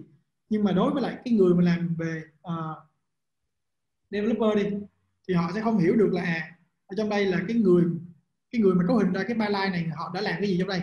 Và họ sẽ thấy là à họ không tự tin khi mà cái pipeline này được build bằng cái cái CI này. Đó cái code của họ được build bằng cái CI này. Thì nó sẽ gây ra một số cái cái hiểu lầm. Thì à, đó thì cuối cùng là nó vẫn chạy nó vẫn finish đúng không? Nó vẫn up được lên cái cái à, cái kia vẫn pass qua được những cái test các kiểu. Đó vẫn có pass qua được những cái cái bước test này nọ. À, thì uh, hơi lâu một chút. Rồi đó nó vẫn chạy thành công.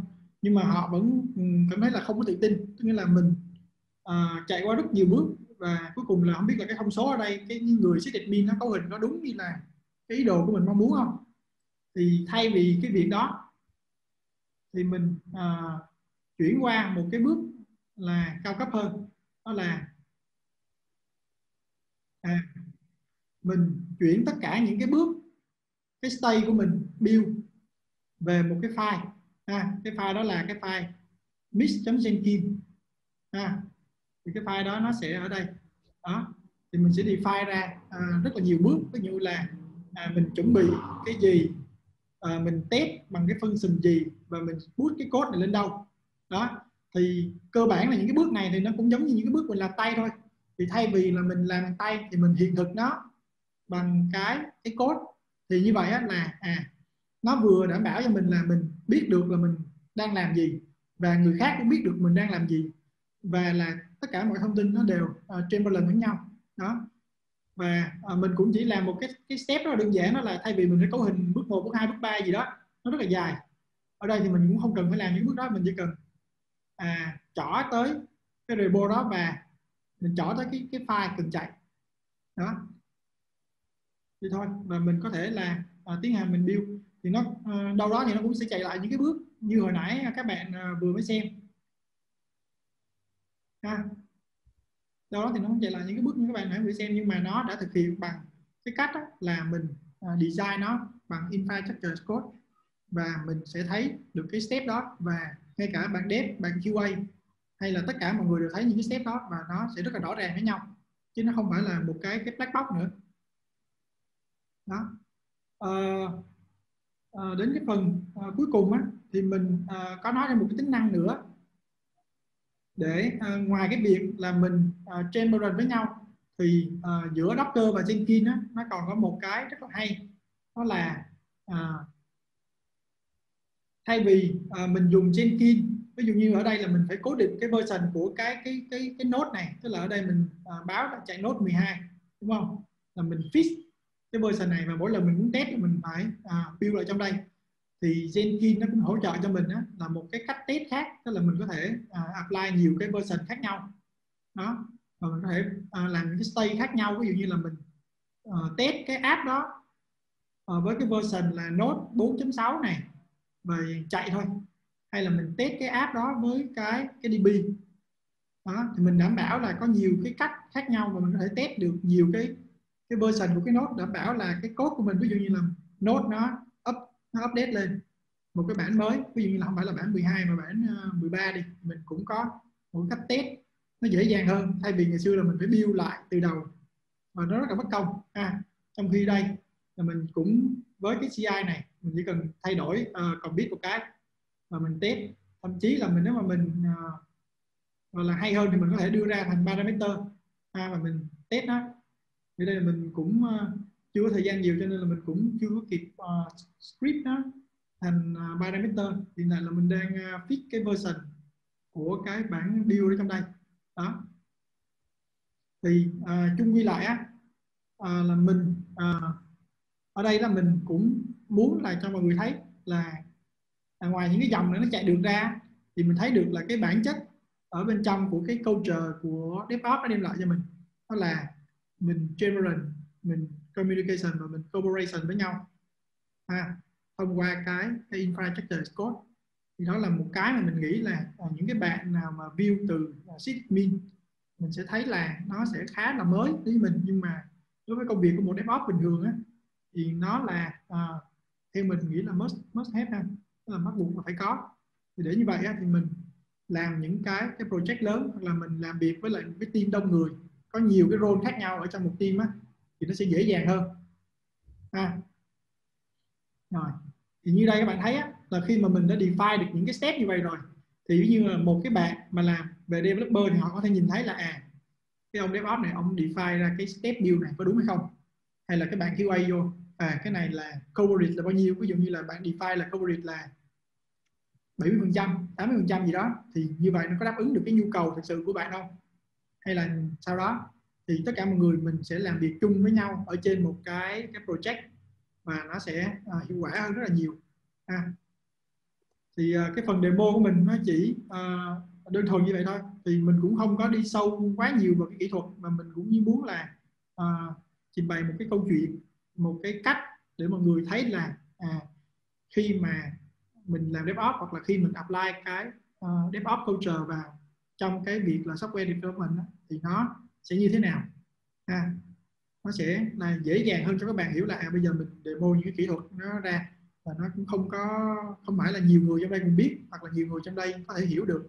Đó thì cái technology thì các bạn có thể là nghiên cứu sau. Nhưng mà về cái mindset á, là cái đầu tiên phải thay đổi khi mà mình muốn chuyển từ ờ, ờ, uh, uh, sysadmin hoặc là một cái developer qua làm cái role là là DevOps hoặc là mình muốn apply cái DevOps culture vào trong cái cái công ty của mình. Rồi, rồi mình uh, xin dừng lại cái phần uh, Ờ, trình bày lại cho bạn Thi ha. Dạ rồi. À, dạ rồi em cảm ơn uh, em rất là cảm ơn sự trình uh, trình bày của anh Hưng và anh Hải à thì hiện tại thì bên trung tâm tiêu phó VN có khai giảng những cái khóa học về liên quan với DevOps như là uh, Linux, Ansible, Jenkins, Docker, Kubernetes. Thì các anh có nhu cầu tham gia uh, tất cả khóa học của bên TevaVN thì các anh có thể liên hệ với em để em bên trung tâm sẽ hỗ trợ tư vấn thêm cho các anh về lộ trình DevOps của bên mình và cũng như là khóa học phù hợp.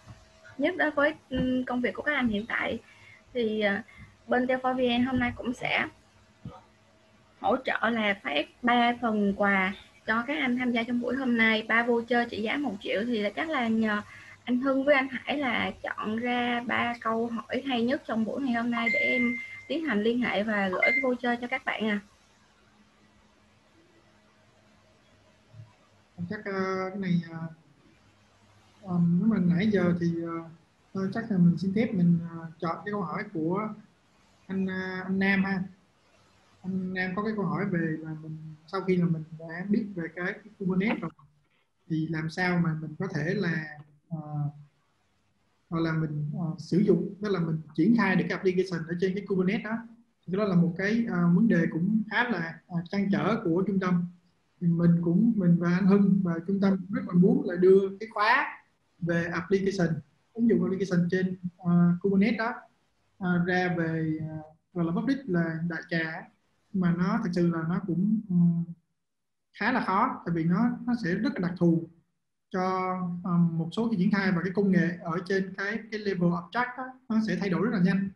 Mình cũng uh, khó mà có thể đáp ứng được cái nhu cầu thực sự.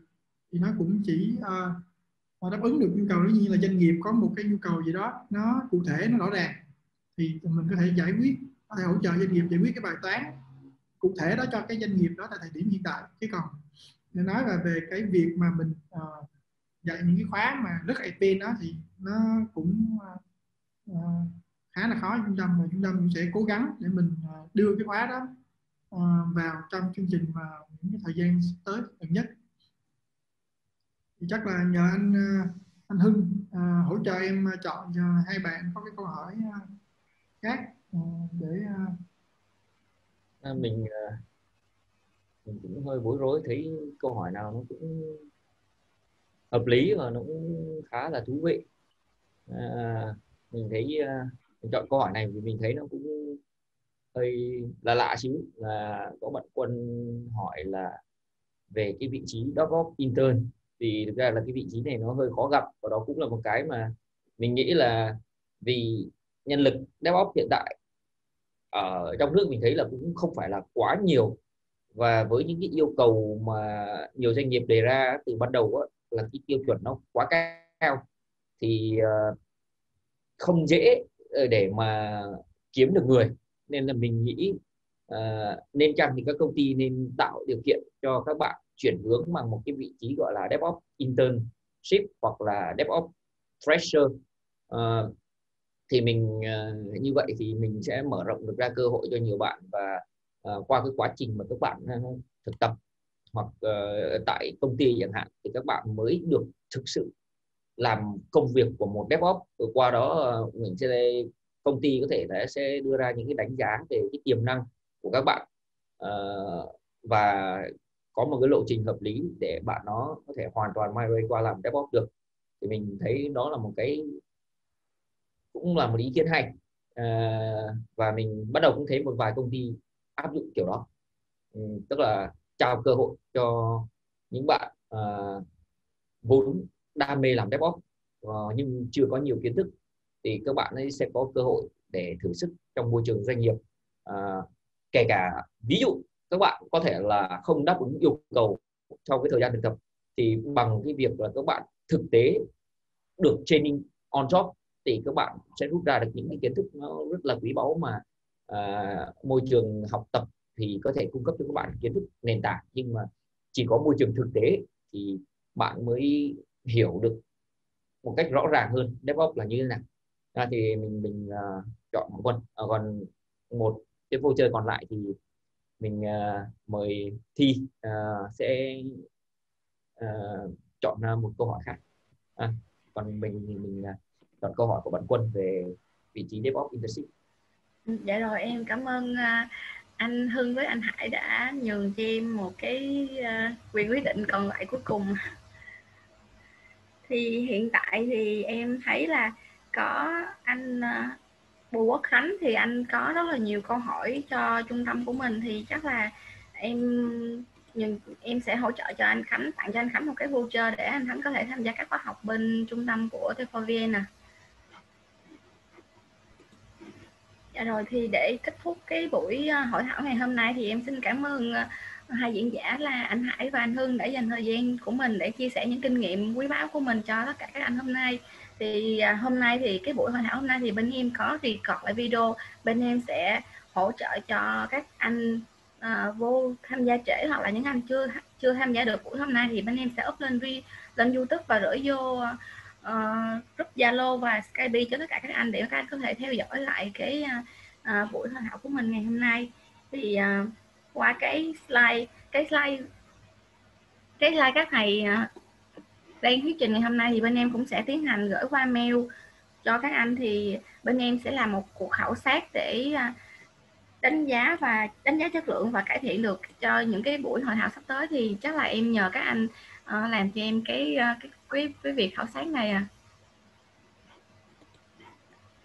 Thì xin cảm ơn tất cả mọi người đã tham dự cái buổi hôm nay. Thì em cũng xin kết thúc cái sự kiện của mình ngày hôm nay. Và chúc các anh có một ngày cuối tuần thật là vui vẻ à. Xin cảm ơn anh Hải và anh Hưng à. Chào mọi người á chúc mọi người cuối tuần vui vẻ. À, mọi người có câu hỏi nào thì uh, mọi người có thể post câu hỏi uh, tiếp cho uh, Hải và mình ở trong group. Hoặc là có thể contact với tụi mình trực tiếp qua email cũng được. Thì uh, tụi mình sẽ cố gắng trả lời tất cả những câu hỏi nào các bạn uh, trong cái khả năng có thể của tụi mình à, cảm ơn mọi người. Chúc mọi người cuối tuần vui vẻ. Yeah, dạ, cảm ơn Hải cảm ơn Hưng yeah, dạ, cảm ơn Thi yeah, các anh em. Chúc mọi người cuối tuần vui vẻ. Chào mọi người nha